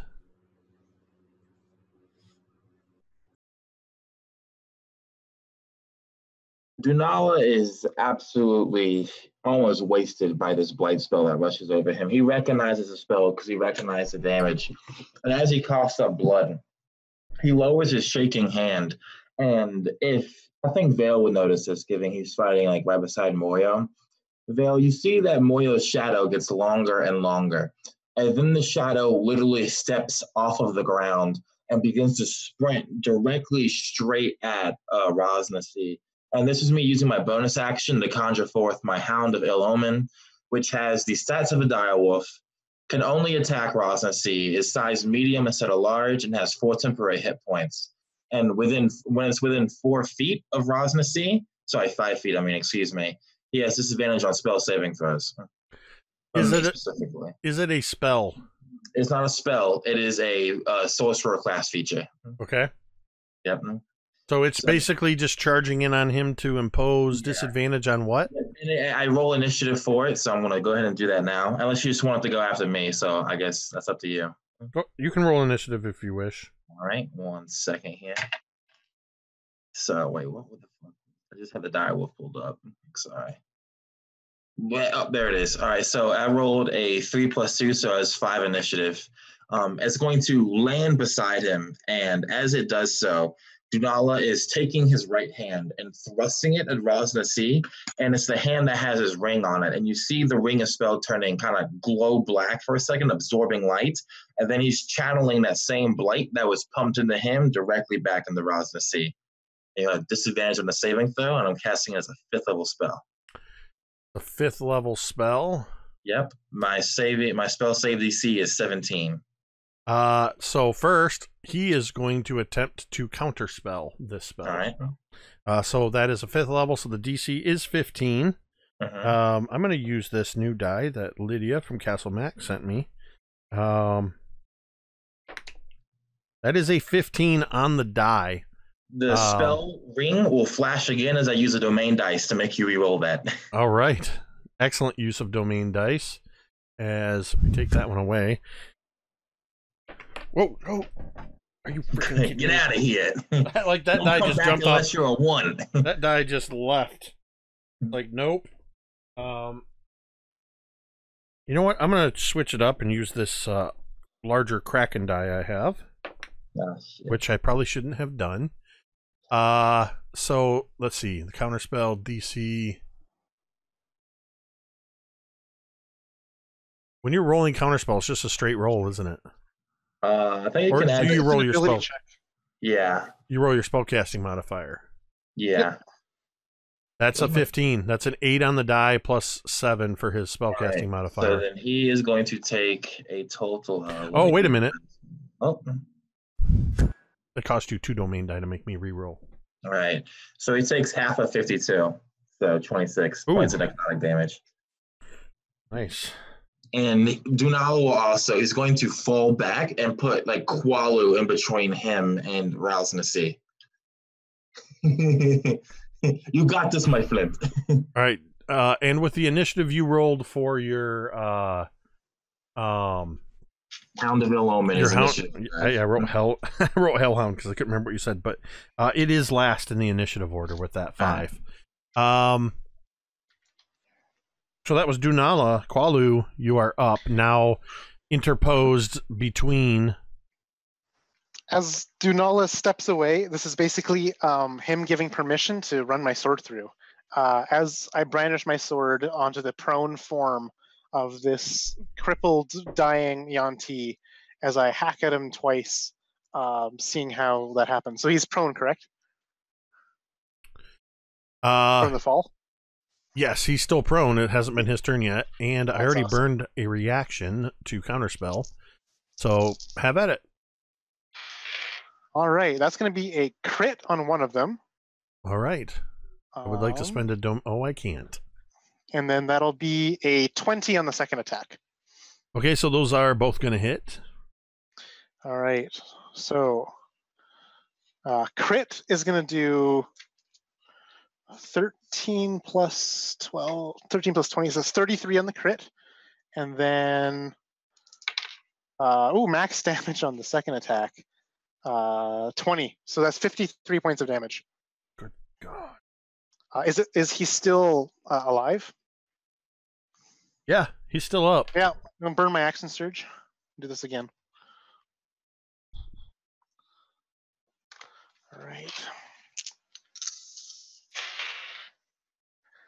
That is going to be a 19 and a 28 to hit.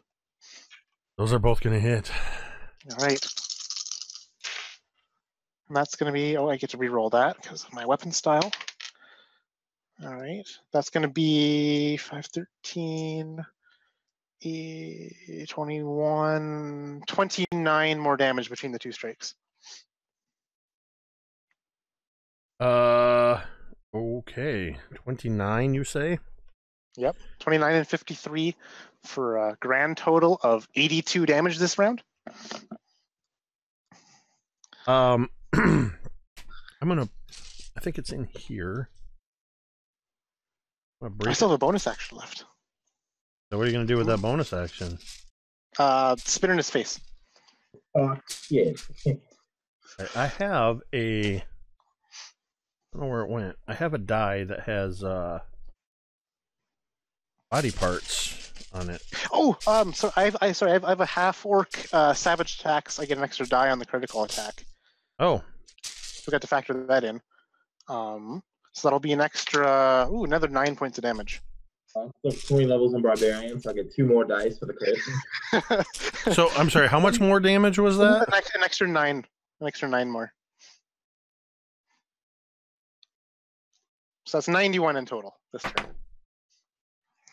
Um, during the course of your attack, he's already in this state where he was withering from the uh from the death curse. And from his position on the ground, he is slashing around, thrashing, trying to block you. Um he you end up severing his right arm uh just above the elbow. Um like your last blow just comes down and hits concrete or hits stone and there's a brief spark and a spray of blood as you sever his arm. Um which I don't know how long he's going to last, but I'm going to say that that's also going to cause him problems with casting somatic spell components. So, uh, I hesitate to ask, but is that all? Yeah, that that's all. I don't have any reason. I, I mean, unless you would allow a bonus action offhand attack, which is me stomping in his face uh, with my boot, then otherwise no.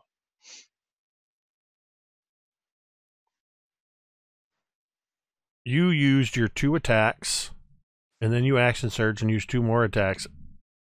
A unarmed strike as a bonus action, uh, I would allow. Oh hell yeah. Make him bite the curb. Okay, that's this is what be, is that? American History X. yeah. That's gonna be another crit. So Connor, I'm not even going to that- make you roll.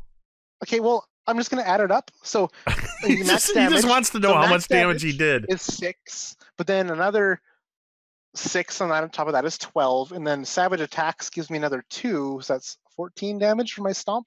That is that. That's without rolling the extra damage. So I don't have to. I don't. I don't get to roll any dice because it's one plus strength mod. Um, Okay. Yeah. Well, at the point that you were making this uh, extra curb stomp, he only had eight hit points left awesome. because you did a grand total of like ninety some points over. You did like hundred points of damage. Um, So I'll stand there. this his round. skull's So crushed between underneath my boot, his eye and brain viscera just, just painting the floor. And I'll look at you, Dunala, and then I'll roar to rest to the rest of the uh, the Yuan-ti. That's my turn. I imagine it is a very primal, orcish roar as K'walu has basically dismembered uh with this with these savage attacks, K'walu has dismembered um. Uh it is a bloody, gory mess. Um so following that up, what would Moyo do? There's still three active Malisons in this room.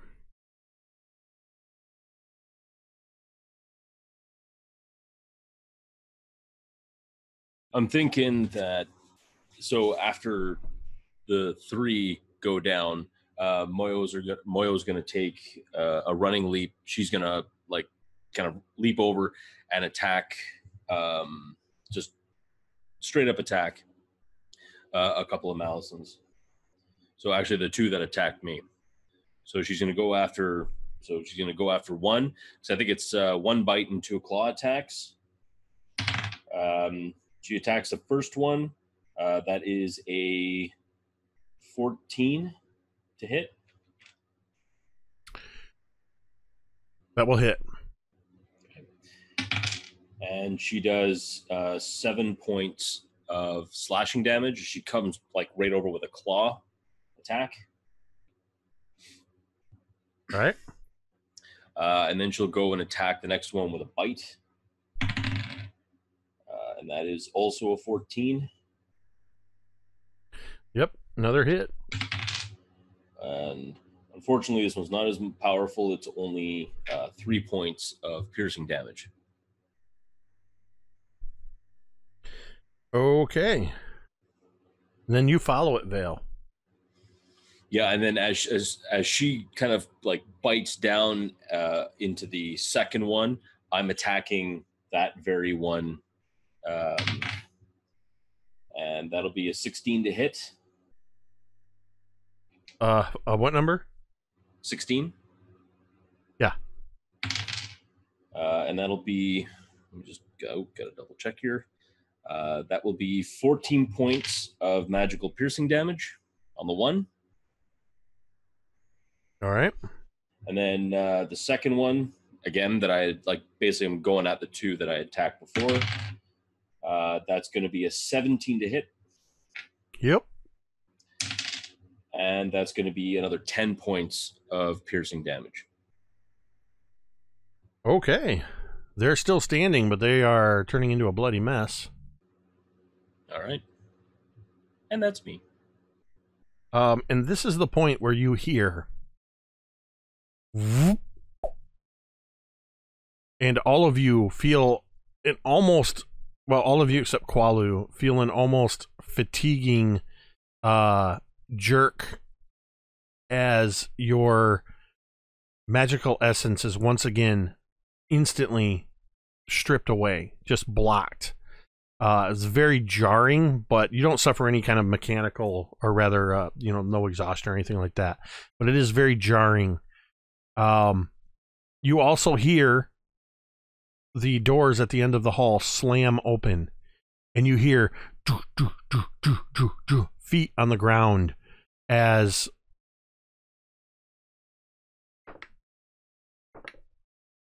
uh almost two dozen Yuan-ti, brood guards, and Malisons bearing weapons come marching into the room and begin flanking around all of you. The uh at the back of the chamber is the source of the absence of your magical connection as the beholder eye has once again reappeared with Fenthaza by two different brood guards. These ones stand out most notably as being uh, shrouded in yellow robes matching Fenthaza's yellow uh, robes and gown that she wears over her human humanoid form of her body. The additional Yuan-ti that come into the room they quickly seize the Malisons that are bloodied that you are fighting with, Vale, Brilinya, Moyo, and slit their throats. They the ones that go around the southern edge of the room come around to the three Malisons that are sleeping on the ground and drive spears and yaklas right through their heads into the ground, killing them. Fenthaza moves around the two brood guards so that she is standing just to their side. And they begin to move around the edge of the room. As she circuits around to the right edge of the room, slowly, the whole time they're moving to keep this eye aimed at the four of you. Fenthaza shifts all the way around the room, her gaze flicking to the dead body of Ras Nsi. Until she's at the northern edge of the room, where she kicks away the end of Ras Nsi's tail uh, that had been severed in K'walu's ravaging attacks. It thumps down the dais and she seats herself, slithering into this iron hydra throne, settling both hands on its arms. The brood guards and the um and the uh beholder eye are positioned in front of her towards all of you.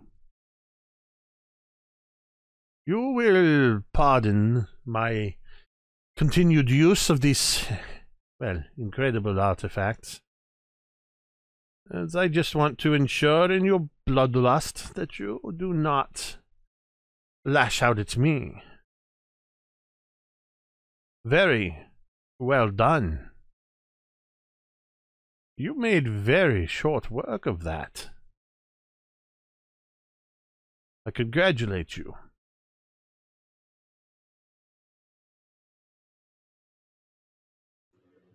You see, this was your. Oh, go ahead. Oh, sorry. I see this was your plan all along. Then to use us to help you seize power. It was a possibility that I had hoped would bring itself to bear, and very quickly I could see things turning in my favor. Dunala wanted Ras to be dead. I wanted Ras to be dead. We had a mutual goal. I merely presented you with the catalyst so that Dunala could uh, fulfill his desire.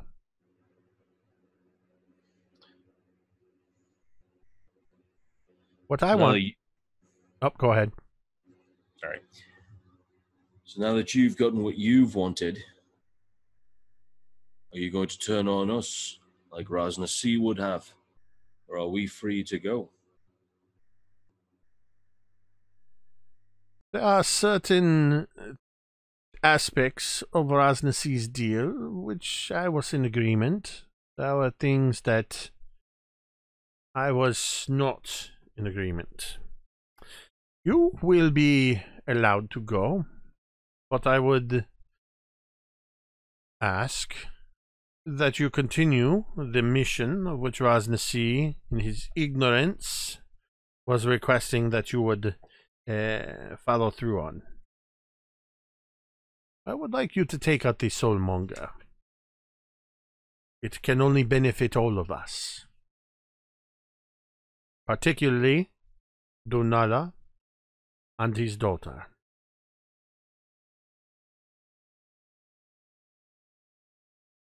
Dunala, you are uncharacteristically quiet.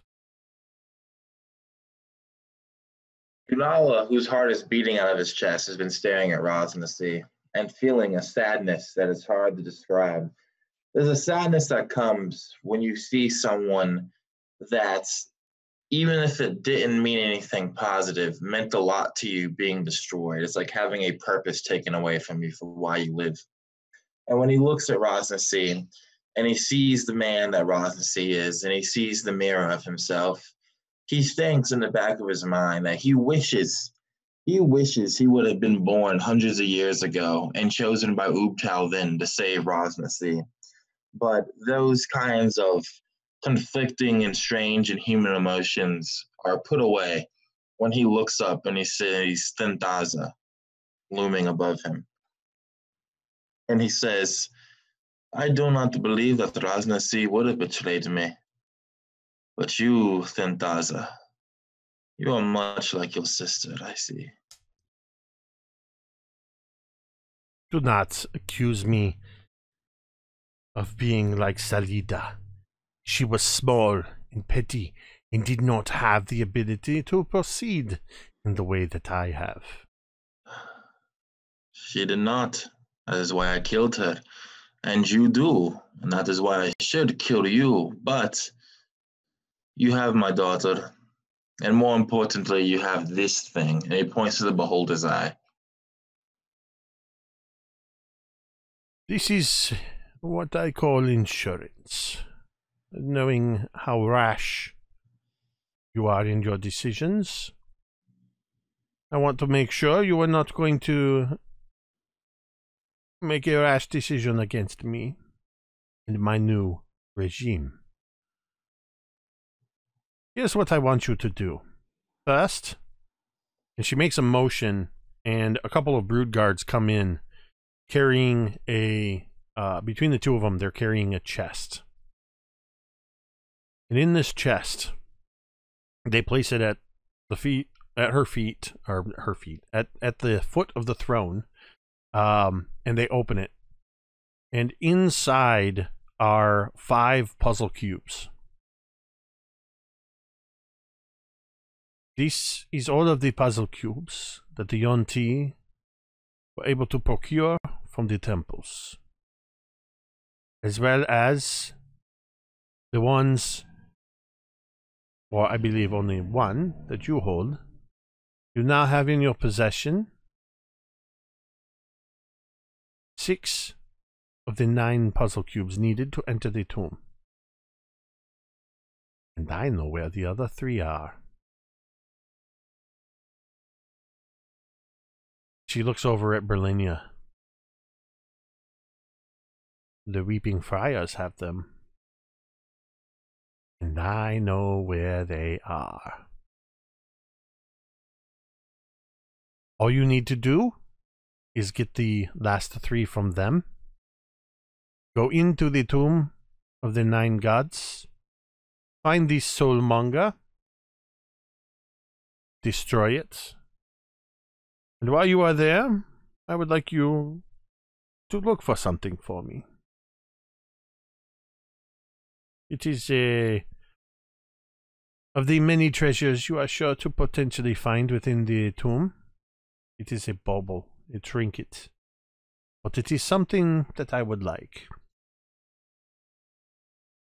Dunala, when you place this trinket, this black opal crown in my hand, I will place your daughter's hand in yours, and you will be free to take her away from here.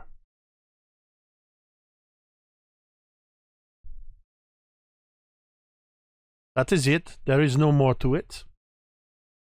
You will leave this place when you are finished, and you will leave the Yuan-ti to their own machinations.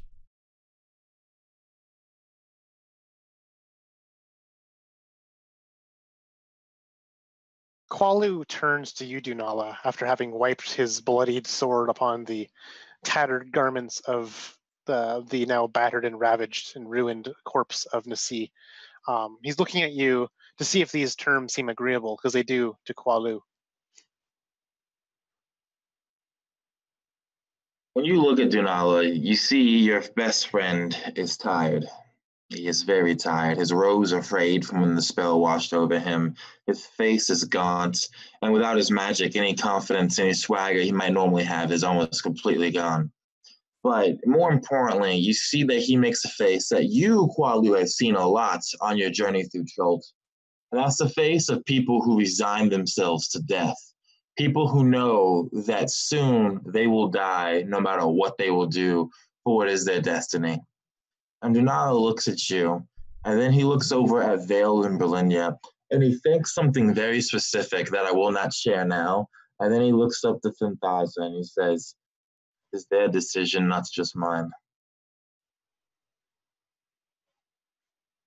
She slowly turns her head to regard the rest of you. Well, what is your decision?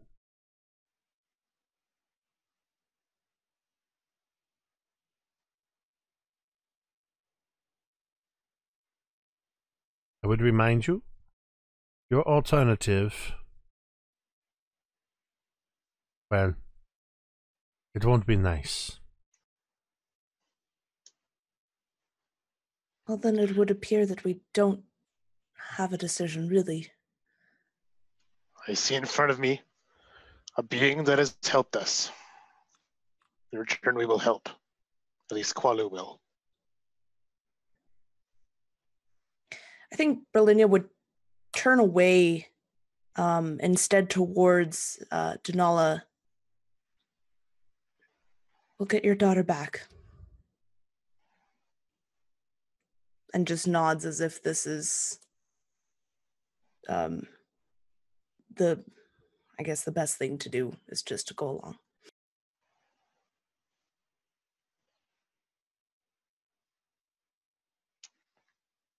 Vale?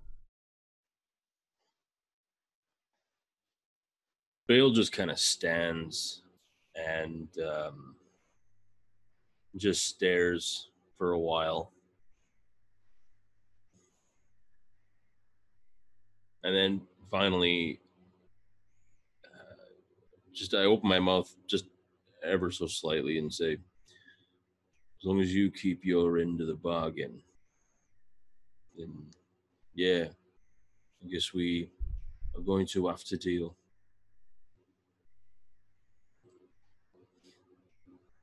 And then you hear another voice. Well, it is not. It is not as if anybody has asked what I was thinking about it, but, um, you know, it appears that if I stick with the four of you, I am certain to have a glorious death. I will join you, says Copper Bell. Fenthaza looks out at all of you and says, Very well. Then all you have to do is get the three cubes from the fires. I wish you all the luck that your gods will afford you. And that is where we are going to end tonight's session. Wow. Wasn't sure how that was going to go down. Brilinya had some coal in it tonight. I was like, Yeah. know, fuck there were so many things. I was telling telling Megan at the break uh, while we were waiting for everybody else to show up. This is one of those unique, and I know Marquise, uh, you're I think the only one other than me that's familiar with some of the internal stuff. So there's a lot that's I, the whole Fane of the Night Serpent with the Yuan-ti is pretty much an, an adventure unto itself. Um, and there's a lot going on in there, and a lot of uh, politicking and power struggle going on. And I kept that in mind the whole time things were happening over the last several sessions. And it was one of those things I alluded to when we played a month ago. I have to have so many things ready because there's it's it's there's so many facets to this that from moment to moment your decisions were shaping what potentials could happen and it was your actions that created the opening for Fenthaza to uh, make a play. So that was really exciting to see how that unfolded, um, and to see if you guys were going to take on Fenthaza and two dozen uh, Malisons and Brood Guards. Um, Dunala, how bad did uh, Ras Nsi's blight hurt you? I was down at eight hit points, so Dunala was very close to going out with a very sad bang. So that would have sucked if you hadn't have saved against that, because that would have Oh. been The sad thing is, I remember that I had my ring of spell turning and it gave me advantage. And when I re rolled it, I rolled a 20, which would have reflected the spell back at him, but it was too late to bring it up. I was like, shit, that would have been so helpful. Yeah, Nsi has the potential to be a very powerful, um, a very powerful individual. But uh, when you encountered him, uh, I mean, you got four ninth levels facing off against this this guy who's already in a weakened state, and um, He, he, and he can't counterspell a sword. Nope. No, the only thing I had potential that I was looking at was uh you were rolling high enough that it wouldn't have mattered. Um but the only other reaction he had was uh shield uh which would have bumped him up to like a 20 AC. Um so yeah, you guys are now closer than ever to the titular um tomb of annihilation. Uh Do we also get a level up? no, you don't get a level up. You just leveled up a couple sessions ago. Just But it was because like it's been two just ago. because it's been a month in real time since we played. Okay, okay, you're right. But can we get two level ups? No. Damn. What did I do? What did I tell you guys like six months ago? I estimated that you guys would probably be around level eight or nine when you hit the actual tomb. I And just want a six level spells so I can fuck something up with them. I just want to fuck somebody up with a six level fireball. That's all there is to it. I can't wait to see uh, as you guys close in, and you know, at least you know what you exactly who you're going up against next to get those last three puzzle cubes. Uh, so we'll see how this is all gonna gonna work out. Oh yeah, that's right. K'walu wanted to add one more term to the agreement, but maybe we'll wait till next session. All right, so um, yeah, we'll we'll have some discussion in between now and our next session, which is most likely going to be next week. Uh, we may potentially have to put one of the players on autopilot, or rather, one of the characters on autopilot a little bit. Um, I I was hoping we'd get a resolution here because I did not want to have. There's no way we could have autopiloted Dunala through a confrontation with uh with Rosna So um, yeah, so we will be back here next Sunday night, most likely. You've got to be kidding me. It just disconnected again. Did I lose everybody? Can you guys hear me? You Son of- good now? Son of a. It just disconnected again. I don't Oh, know wow. what's happening. I just. Well, just just call it. I mean, you're pretty much saying, "Join us next time."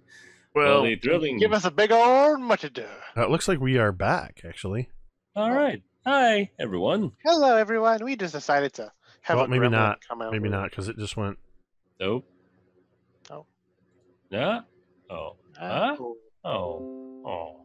Oh. Oh, that's. that's poopy. Hold on. I don't know what's happening because we we might Gremlins. actually still be on because it just went off and on again. So hold on one second. I don't want to be Oh. you know weird. Okay, this Yep. is really weird. so Okay, it cut out at the end, and I was frozen again. I think we're back. Yep. Agent Kevin says we're back. Okay. I'll have to troubleshoot tomorrow. The good news is tomorrow is an American holiday, so I can do some troubleshooting during the day. Uh, because, as I was about to say, we will be back here next Sunday night at 8.30 p.m. Eastern, most likely, for episode 43, um, yet to be titled. Um, and then tomorrow night at 8.30 p.m. Eastern, uh, is All That Glitters, our Waterdeep Dragon Heist campaign, dungeon mastered by this fella right here, along with myself and Megan, Dwight the Big Bearded Nerd, and Cassie from Porch Pottery, Florida.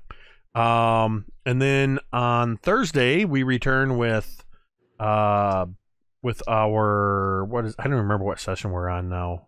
15, I think, of um Dawnbringers, the Forge of Fury, uh, and they are closing in on the finale of that season as well. And correct me if I'm wrong. There's something going on this Tuesday, Megan. Is there not? Um, Tuesday night, Yes. I will be on Dice on Ice YouTube channel, um, along with Megan as the dungeon master and Connor as one of the players, and a couple other fantastic players. As Megan is taking us through Curse of Strahd. Um, yeah, so we're getting right back into it. Uh, lots of RP going on, role playing games, D and D. Uh, be sure to tune in on Tuesday night to Dice on Ice. Everybody's socials are down in the information bar on the YouTube video, or you can type in their name, Mike, Megan, Marquise, or Connor. I believe.